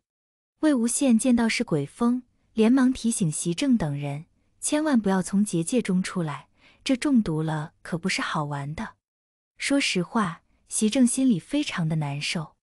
一开始他以为是自己带着四个菜鸟，结果到现在他一点忙都帮不上，不说还成了拖累。要不是有他们三个，蓝忘机和魏无羡估计都遇着剑到达目标了。哪像现在还要时时的花费精力保护他们的安全。修士遇到鬼风也不是那么轻松的。不过魏无羡以前经常到处夜猎，而且乱葬岗里也有几处鬼风巢，这玩意他还真的很有经验。先给蓝湛和自己拍上防御符，然后飞到高处，让鬼风注意到他们，让鬼风不飞去席正他们那里。席正三人仰着头，看着不远处的天空上密密麻麻、遮天盖地的奇特怪风。那怪风每一个都有李子大，有一些甚至有桃子大小了。鬼风察觉到有人在前方，立马就飞过来，包围了蓝忘机和魏无羡。两人并不慌张，轻轻地落在高空的树枝上，操控着灵剑在空中飞舞。灵剑所过之处，鬼风就像下雨一般，噼里啪啦地往下掉。很快，地上就铺满了厚厚的一层鬼风尸体。只是鬼风的数量太多了，两人就算是像割稻子一样收割。鬼风依然是前仆后继，无穷无尽。见一时半会，鬼风实在难以消灭。魏无羡又丢了几张烈焰符、爆裂符，却收效甚微。鬼风本就不惧水火，想起鬼风的特性，他又给蓝湛身上拍了几张防御符。蓝湛，你顶着，我去想想办法。魏无羡召回灵剑，随便直接跳下高高的树梢。往席正几人的方向奔来，他的身后还跟着几只鬼风。他的动作飞快，都快跑出残影了，一下子就钻入了结界中，把鬼风挡在了结界之外。魏无羡转过身，见没有鬼风被带进来，还松了口气。你们三个谁的元阳未泄？三人面面相觑。魏无羡又开口：“就是你们谁还没有娶妻？”这么一说，三人就懂了。雷天明看了一眼魏无羡，又看了一眼蓝忘机。魏哥，你不行吗？魏无羡，我儿子都四岁了，你说我行不行？快点，谁还没有娶妻？雷天明和江飞对视一眼，他们虽然没有娶妻，但是都有过女朋友，也就只有席正出来。我我没有，我十八就当了兵，现在还是单身呢。他有点不好意思。小麦色的脸罕见的红了起来。魏无羡，快快快，放点血给我！他动作飞快地从储物袋里拿了个碗出来，将刚刚得到的蛇血倒了一半进去。席正不知道魏无羡要干嘛，但是不妨碍他听话呀。二话没说，就掏出身上的军刀，在手腕上割了一条口子，对着魏无羡递过来的碗，将血滴到了碗中。看着鲜红的血液从席正的手腕中流到碗里，这个时候雷天明和江飞反而不好意思了，他们是真的一点忙都帮不上。很快，血就接了满满的一碗。魏无羡小心地把装着血的碗放到地上，从储物袋中拿了温情给他准备的补血丹给席正服下，另外又将上好的金疮药以及纱布等东西交给旁边的雷天明和江飞。让他们给席正包扎伤口，他自己却蹲在地上，拿出一叠的空白符纸，用符笔在碗里搅了搅，让里面的蛇血和人血充分融合，又往里面撒下一些纯阳属性的矿物和药粉。被放入药粉的血液慢慢的变成金色，看起来就像是黄金融化在了碗里。要说还是温情了解他，什么都给他准备的齐全。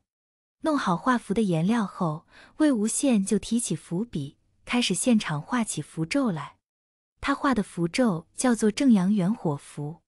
画符的魏无羡气势一变，只让人觉得无比的威严。刚刚还在给席正包扎的两人看了一眼魏无羡，就吓得大气都不敢出。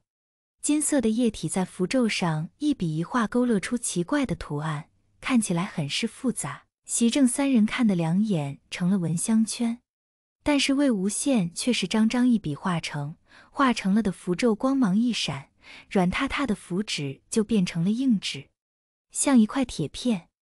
正阳元火符的符纸需要元阳之血浸泡之后才是最好的，但是他们五个人只有席正一人的血可用，把他血放干也是不够的。魏无羡只能血不够，元神之力来凑。一边画符，一边将元神之力侵入符纸中，一口气画了二十来张。魏无羡体内的灵气都消耗了一半，元神之力也是差点消耗殆尽。忍着头疼，魏无羡拿着符咒就出了结界，御剑去支援蓝湛去了。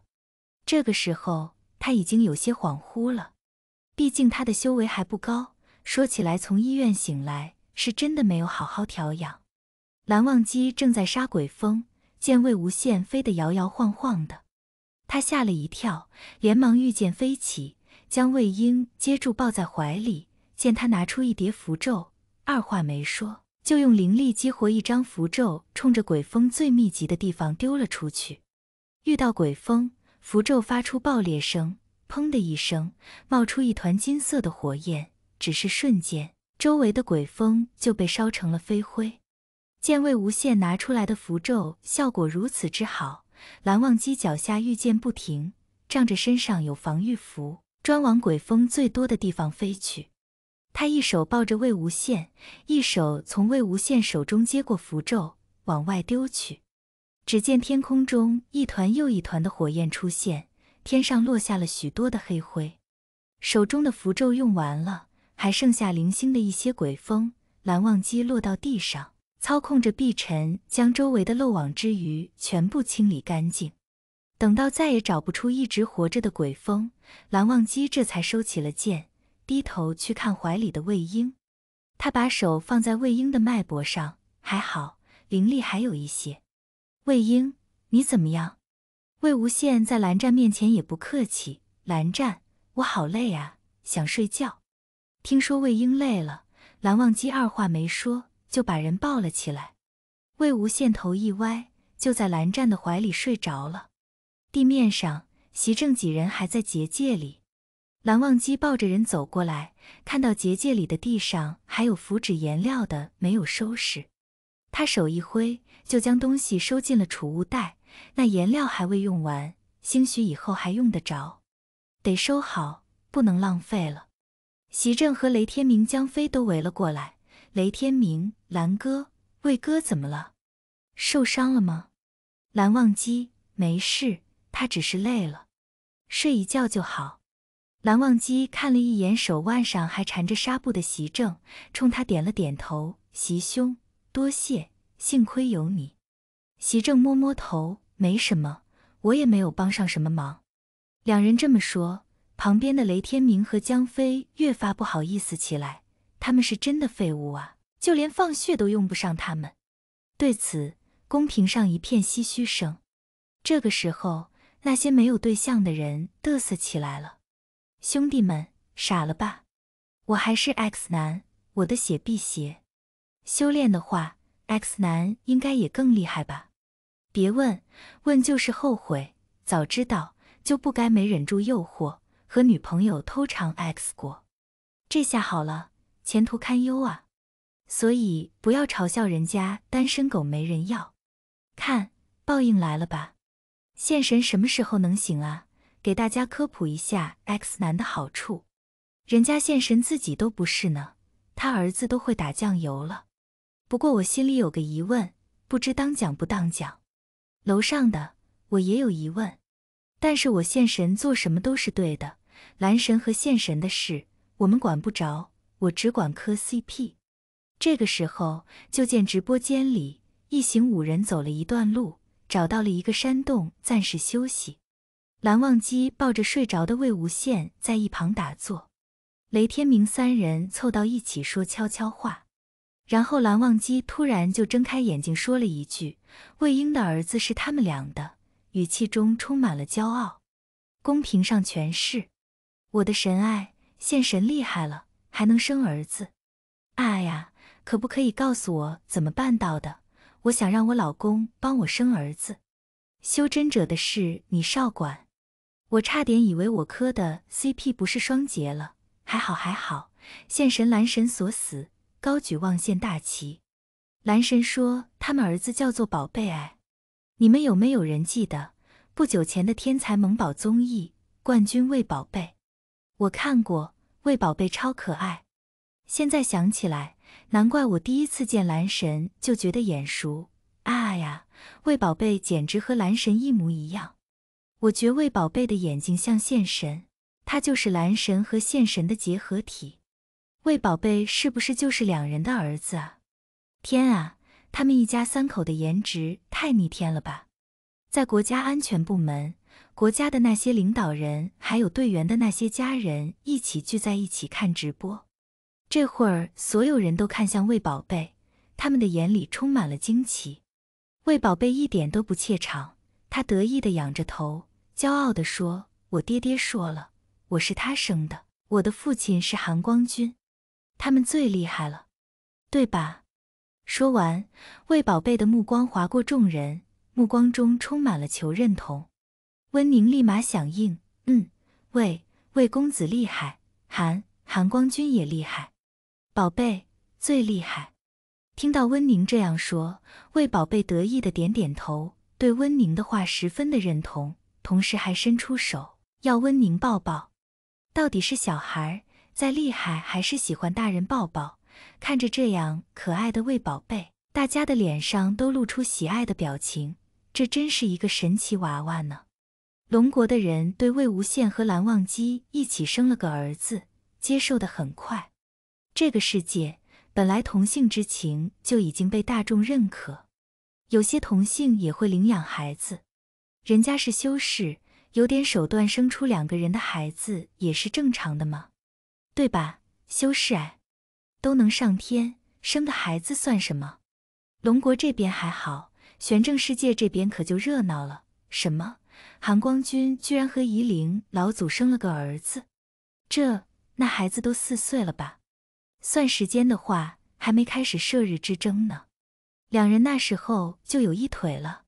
你们别忘了，射日之争上，韩光君可是和夷陵老祖水火不容，见面就掐。还不知道这孩子怎么来的呢？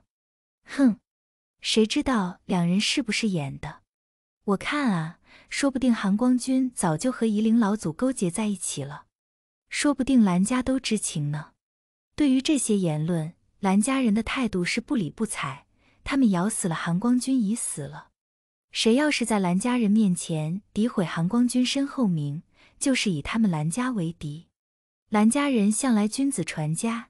这还是第一次这么不讲理，让仙门百家都不知道该怎么应对了。而莲花坞中，江婉银发起火来，将莲花坞的屋子都砸了好几间。那副被辜负的样子，得亏魏无羡不在这个世界，不然知道了还不知道有多恶心呢。魏无羡的七魄早就在跟着江婉银的那段时间，看清楚了他是个什么样的人了。江家。哼，就像那些龙国人说的那样，从头到尾都充满了不对劲。他魏无羡做了十几年的傻子，已经够了。现在的他有可爱的儿子，有真心爱他的道侣，还有如同真正的家人一般的温家人在身边，他早也不需要那些谎言虚构出来的温暖了。魏无羡睡了两个时辰，蓝忘机一直把他抱在怀里，先是找地方休整了一会。和席正他们一起吃了东西，休息好以后，再次上路。蓝忘机就把之前背的背包收到了储物袋中。之前是做样子，现在所有人都知道储物袋的存在，也没有遮掩的必要了。蓝忘机干脆让众人把包都让他收起来，大家也好轻装上阵。蓝忘机心里想着，什么时候让他们学一些修行。稍微吸收点灵力，能够打开储物袋就行。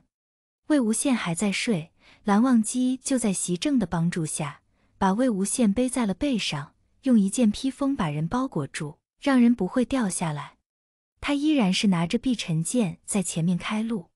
这一路上，蓝湛走得比较慢，特别的小心，就怕吵醒了背上的人。睡在蓝湛的背上，魏无羡睡着的时候。功法自主运行，两人的气息融为一体。短短两个时辰，魏无羡的状态就恢复到了最佳状态。秀气的打了个呵欠，魏无羡睁开眼睛，入目的是一片乌黑的头发。他知道自己被蓝湛背到了背上。他伸出手，手指把蓝忘机身后抹额卷啊卷的，指尖在蓝湛的背上打圈。蓝忘机感觉到背上动静。知道人醒了，他的手伸到背后，在魏无羡的屁股上拍拍，提醒背上的人老实点，不要乱动。醒了，如何？魏无羡的声音软软的。蓝湛，我没事了，现在很好。嗯，蓝湛，你多背我一会吧，不想动。像个孩子一样被裹在蓝忘战的背上，魏无羡感觉了前所未有的安心。他把头靠在蓝湛的肩膀上，伸出双手揽住蓝湛的脖子。这一刻，他才真正的感觉到自己有了道侣，在他脆弱的时候会安慰他，会保护他，能够在他撑不住的时候给他一片安全的港湾。蓝忘机见魏婴的声音懒懒的，以为他还有些不舒服，便把人往上提了提，语气温柔的问道：“还有哪里不舒服？饿不饿？”魏无羡在蓝湛的背上摇了摇头，想起蓝湛看不见，他才开口：“没有，不饿。”蓝湛啊，嗯，有你真好。蓝忘机听到这句话，嘴角微微勾起：“嗯，我在。”魏无羡轻笑一声：“所以啊，蓝湛，你让我躲会懒呗，我想要你背着我。好多久都可以。”两人的身后，几个小伙子挤眉弄眼。表示这波狗粮我们吃撑了。雷天明对着席正和江飞眨了眨眼，用嘴型说道：“我也不饿。不光是龙国的队伍遇到了妖兽，其他的国家也遇到了不同的问题。这些队伍中，国家想尽办法给他们准备了武器，有的武器重量太大，国家更是给队员准备了足量的炸药，重量轻，威力大，是十分理想的物资。”而在替换队员的时候，那些替补人员都是全副武装，这也算是各个国家发现的一个系统漏洞，算是天道给的一线生机吧。面对妖兽的时候，这些全副武装的替补人员就起到了重要的作用。再加上炸弹的辅助，虽然说最后也都消灭了妖兽，但是最后付出的代价都不小，绝对不像龙国这么轻松。之后的路程。每天都会遇到野兽或者妖兽，总的来说，这一路并不轻松。其他的国家也是一路厮杀出来的。龙国的队员有蓝忘机和魏无羡带着，不像来求生的，反倒像是来旅游的。因为得到了一个妖兽的内丹，魏无羡用这个给席正开了灵。开灵的意思就是用强大的能量，直接让普通人的席正经脉中注入灵力。将已经成熟定型堵塞的经脉强行打通一条路出来，这样一来，他便可以吸收灵力用来修炼了。至于修炼的效果，就要看个人的悟性资质和勤奋了，这三样缺一不可。师傅领进门，修行在个人。魏无羡愿意教他，其实也是为了方便，一是让他能够自主的使用储物袋。二是能够在危险来临的时候使用符咒自保。每天都有国家全军覆没，也有的国家伤亡惨重。整个世界越来越多的地方被黑暗入侵，被另外一个世界所覆盖。好多国家的居民只能匆忙的逃往国外。那些全军覆没的国家，大家也能够在网络上看到那些国家领土的场面。黑暗降临。无数的怪物蜂拥而出，完全就是末世降临的情景。而龙国的几处黑暗降临的地方，现在都已经戒严了，周围的居民也搬离了住处，迁居到安全的地方。每一天，龙国的居民都在祈祷，魏无羡一行人能够走到最后。在看到其他国家被选出的队员死在了野兽口中，国家也被黑暗笼罩。他们才真切地感觉到这不是一场游戏。魏无羡等人看似在求生，其实是在救世。在第五天的时候，蓝忘机和魏无羡打头，席正远程援助的收割了一群猎狗后，宝箱再次开出了替补令。这次替补令有两枚，席正主动让出了名额给雷天明和江飞两人。他是龙国的军人，不管是为了国家。还是为了自己的家人，都不允许他退缩。龙国这边退下了雷天明和江飞，替补的人员是温宁和温情。原本龙国是想派一个兵王的，但是温情有着高明的医术，他的修为虽然不高，但是好歹也是个修士，御剑、使用符咒这些，他还是能够做到的。而温宁的武力值也只在魏无羡和蓝忘机之下，龙国的兵王根本就没有可比性。于是，龙国领导再三考虑之下，还是同意了让温宁和温情出战。温宁虽然来到这个世界，重新变成了活人，但是他原本作为凶尸的某些特性还是在的，就是打了点折扣。比如说他的力气，算起来应该是不输蓝忘机的。进入到游戏系统中后，现在就是四个修士带着一个刚刚修行入门的人了。现在席正也开始修行了，他恰恰是资质不错的那种人，而且他的元阳还在，修行起来那就是事半功倍。现在魏无羡一行人赶路都不是用走的了，他们用飞的。温宁载着席正，其他人各自御剑，飞一段再休息一段时间，遇到了妖兽，他们便一起合作，用修士的方法对付妖兽。而席正也在这期间肉眼可见的进步，在第八天的时候，他们终于赶到了目的地。这还是他们一路不紧不慢、没有赶路的结果。到达指定范围后，他们就收到了系统的通告，在指定范围内，他们需要建立属于自己的安全堡垒，并且在堡垒建立好之后，成功的度过一个月。他们提前两天到达目的地，也是就说他们多了两天的时间用来建设家园。他们能够想到接下来的一个月不用赶路，但是这个家园一定会遇到很多的攻击，所以现在最主要的就是要打造一个足以坚持一个月的堡垒。魏无羡一群人到达的地方是一片平原地区，这片地区的地形还比较复杂，有水泽之地。有树林、竹林，也有乱石滩。魏无羡四处看过之后，决定在乱石滩上建立住处。这里有几个好处：一是乱石滩的不远处有河流，河流可以解决他们的水源问题；而河流底下也能挖出许多的粘土，用石头和粘土用来建立防御工事，应该是比较坚固的。而有着这么多的石头，又有两个大力士的存在。魏无羡觉得，他可以利用这乱石滩布置一个阵法。虽然限于材料有限，阵法的威力没有多大，但是起到一个防御、迷惑等作用还是能够做到的。既然决定了在石滩上建立住所，魏无羡就选定了视野开阔的一处最佳位置。几人在打算打地基的时候，却遇到了问题。几人本来打算把地上的石头捡干净，然后再建房子。没想到一连捡了大半天，地上都还是石头，完全没有看到土地。魏无羡连忙叫停。之后力气大的蓝忘机和温宁一直在一个地方捡石头，捡出了一两米的大坑，也全是大块大块的石头，都不知道底下的石头到底有多深。这下众人傻眼了，这要建房子，底下全是石块，怎么打地基呢？这样也建不稳啊！不光是魏无羡五人，龙国的人也都在发表意见。要不换个对方吧？虽然石滩地方不错，但是这不好打地基呀。还不如换个地方，用这些石头来建房子。我觉得可以加粘土，这样粘合石块不就牢固了吗？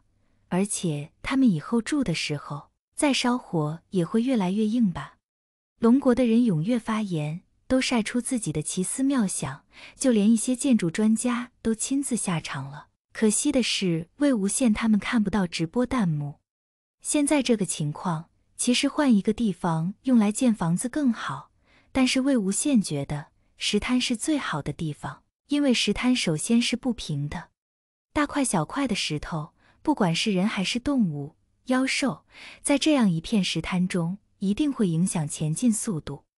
要是后期再加上阵法，大大小小的石头按照一定的规律排列的话，这样一来，他们遇到什么东西来袭，这片石滩就是第一道屏障。席正说：“要不我们去河边挖泥土，将泥土往地下夯实，再抹平，用火烧一下，也会更加坚固。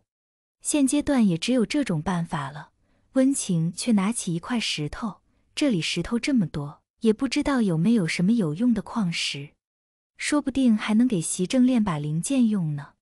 温情这样一说，魏无羡的眼前一亮，他想到办法了。这里全是石头，不如炼化一些金属或者什么的来作为地基。心里有了想法，他就开始实践。上次遇到鬼风，魏无羡画了正阳元火符，这是一种特殊的符咒，能够发出极阳极高温的火焰。这种火焰的温度，别说是鬼风了，基本上只要不是特殊的炼器材料，它都能够将其融化。魏无羡拿出上次剩下的颜料，这次多了个温宁。于是，席正和温宁一起又放了一碗血，用来炮制特殊的符纸。这样一来，这正阳元火符的威力更加的大了。画好一张符咒后，魏无羡就使用了符咒，控制着符咒发出的火焰在一处石块上。没想到，那石块当场就融化了，周围的石块也全都融化，然后变成了岩浆一样的液体。并且那液体还在往下沉。等到符咒的效果结束，原地竟然出现了一个直径一米多的大洞，而洞底都是岩浆。等到这岩浆冷却凝固后，就变成了一整块的石块。见到这样的效果，实在是太好了。魏无羡想起一个阵法，可以用来增幅力量，心里大概做了一个预想后，就开始行动。魏无羡又画了整整二十四张正阳元火符咒，直接圈定了一百多平米的地方，布下无极天罡增幅阵。整个阵中全部都是那种恐怖的，似乎要炼化万物的火焰。整片一百多平的地方，石块全部都开始融化成液体。蓝忘机和温宁、温情都看出了魏无羡的意图，他们都被魏无羡大胆的想法惊呆了，只能说魏无羡太敢了。不过魏无羡敢做，他们就只能无条件的支持了。于是三人纷纷出手帮忙，在魏无羡的提示下，不断的把灵力注入到阵法中。魏无羡在阵外手上不停，不断的打出各种手诀进入阵法中。阵中一百平的地方，所有的石头都融化成了液体，液体不断的下陷，往下融化了三四米的高度。而那岩浆也有一两米深的样子。席正站在不远处，见到魏无羡直接整了个岩浆池出来，人都傻了。这就是修真者的力量吗？只凭几张纸就能够做到几百吨煤炭都达不到的效果？要是炼化金矿，那不是发了？楼上的，你的想法很行啊。不过现神这是要干嘛呀？直接在地下建房子吗？等到岩浆冷却了，在上面加个屋顶，就是个很牢固的地窖了。我觉得不像啊！你看蓝神，还有咱宁哥和晴姐都动手帮忙了，现身肯定要搞个大的呀！不提龙国的观众是怎样的叹为观止，惊叹于修士的力量超乎想象。魏无羡这会很是紧张，这还是他第一次搞这么大个事，眼看这阵法的能量不够了。蓝忘机、温宁、温情也在不停地往阵法中输入灵力。魏无羡心一横，也顾不得什么蓝湛不喜欢他修鬼道了，咬破了手指，在自己的身上画了个符咒。蓝湛张了张嘴，想说什么，但是想起刚刚魏无羡看他的那一眼，他又抿住嘴不说话了，眼里都是对魏婴的担忧。那符咒有聚集怨气的作用，大量的怨气被聚集起来。魏无羡将怨气吸收后，又全部送入到阵法中。那阵法中本就是极阳，现在被加入怨气，怨气极阴，这一阴阳相融，魏无羡顿时就觉得压力骤减。原本有些控制不住的阵法，也渐渐被他控制住了。只见那池中的岩浆，在所有人的眼中慢慢的上浮，在所有人的眼中，岩浆慢慢的变成一栋房子的模样。魏无羡打算的居然是直接炼制一栋房子出来，在所有人震惊的目光中，一栋火红的液体房子渐渐成型。房子是圆柱形的，底下有六七米的地方没有门也没有窗，最地下的地方是个尖锥形。屋顶的位置也是平的，还有着栏杆，到时候可以站在屋顶上进行攻击。下面的住处有四个窗户，一个大门。屋子的内部情况大家都看不到，不过都有点不解，为何这房子怎么这么高？直到房子成型，从空中落下来，就像一支巨大的铅笔插入地下。地上本来就有一个大坑，房子落下去，有五米的长度就插入地下了，这样这个房子就牢牢地立住了。门的位置离地面大概有一米五六的高度。这个高度对于几个修士来说，轻轻的一步就上去了，就连席正也能轻松的跳上去。到了这一步，魏无羡还没停下来，他手上的动作更快了，不停的打着法诀，一个个不同作用的阵法被打到了火红的房子里，房子也在飞快的冷却下来，火红的颜色渐渐的褪去，慢慢的变成了一种闪着金属光泽的黑色。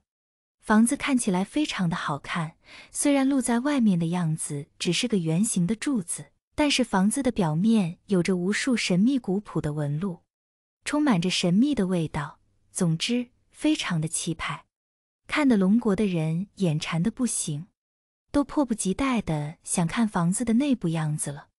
做完了这些，魏无羡才停下来，开始原地打坐，恢复灵气，完全没有出力的习正。这会十分有眼色的拿起枪，开始警戒。很快，蓝忘机几人的灵力率先恢复。见魏无羡还在打坐，温情就和温宁去河边打水，准备做饭了。三个时辰后，魏无羡才从入定中醒了过来。众人都在等着他吃饭呢。魏无羡还没金丹呢，也还没辟谷，忙了一场，早就饿得前胸贴后背了。狼吞虎咽的吃完了饭，魏无羡才问大家有没有去房子里面看看。见大家都摇头，他才想起来还没有跟大家说，已经可以进去了。房子静静的立在面前，魏无羡跳上去，打开门，然后大家依次进入。房间的内部墙壁也是黑色的，不过房间里并不昏暗。上面是大家的住处。分为了四间屋子，有三间房子都有二十来平，一个人住也足够了。魏无羡和蓝忘机两人的屋子大一点，有三十平，每个房间都有单独的洗漱间。剩下的地方是走廊和向下的楼梯的位置，底下还有两层，中间一层是个巨大的客厅和偏小的饭厅，大家可以在这里聚会用餐。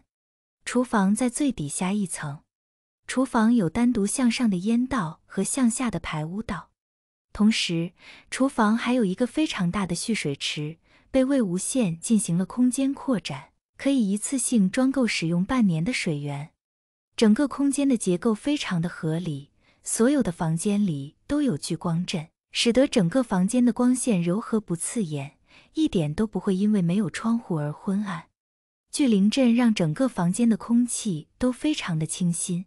还有过滤的阵法，既不会有毒的气体进入房子里，也不会憋闷。听着魏无羡一样样的介绍房子的好处，龙国的人都沸腾了，这简直就是最强堡垒啊！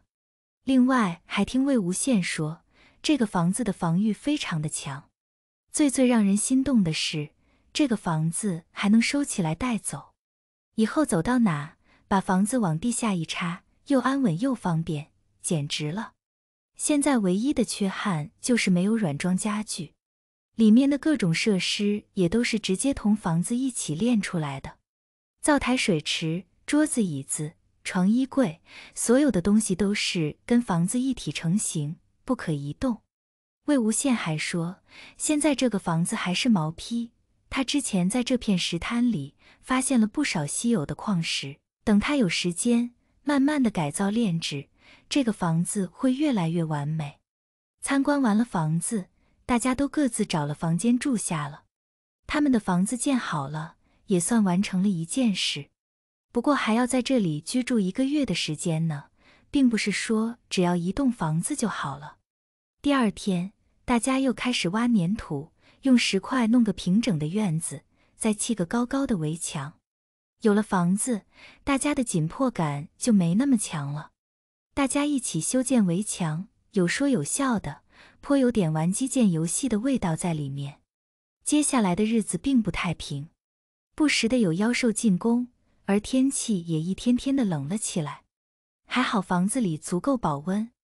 感觉到温度下滑的速度太快，温情和温宁在来之前恶补了大量的小说，猜到可能会遇到极端天气，于是接下来他们的工作就多了起来，需要储存足够的水源，另外食物、柴火都要准备。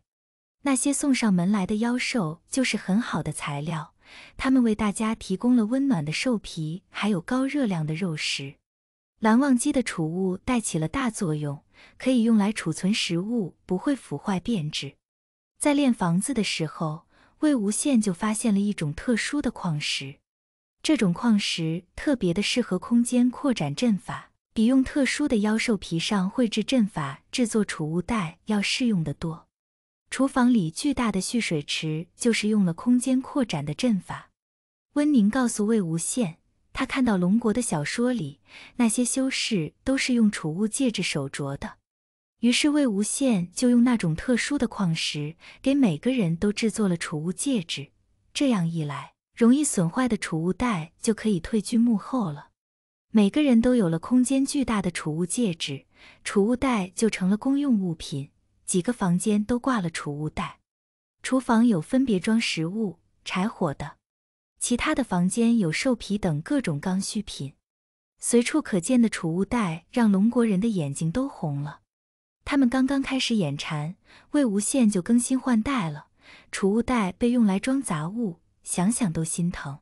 其他的队伍大概也已经到了各自的位置。到目前为止，魏无羡队伍并没有遇到其他的国家。不过他们并不是不在一个空间，而是这个空间太大了。魏无羡他们运气好，没有遇到其他人。不过已经有其他的队伍和另外的队伍偶遇了。这些队伍有见面就你死我活的，也有互相无视擦肩而过的，还有双方合作的。魏无羡他们对于遇不遇到伙伴没有任何想法，他们对龙国的了解不够，不知道那些人是友好还是敌对。当然，他们有个习政，这些事他是知道的。现在这样正好，没有遇到别的队伍，免去了很多麻烦。魏无羡他们在紧锣密鼓地做着准备，度过极寒天气。其他的队伍也开始建立各种的堡垒，他们使用的材料也各不相同，有用树木的，也有用石头的，还有的直接选择了山洞进行修缮。魏无羡他们也发现附近有其他人的队伍，在离他们五公里距离的林子里。有个三人队伍，这三个人用木头在树上建了个庇护所。席正悄悄地去侦查了一番，那三个人应该是来自马国。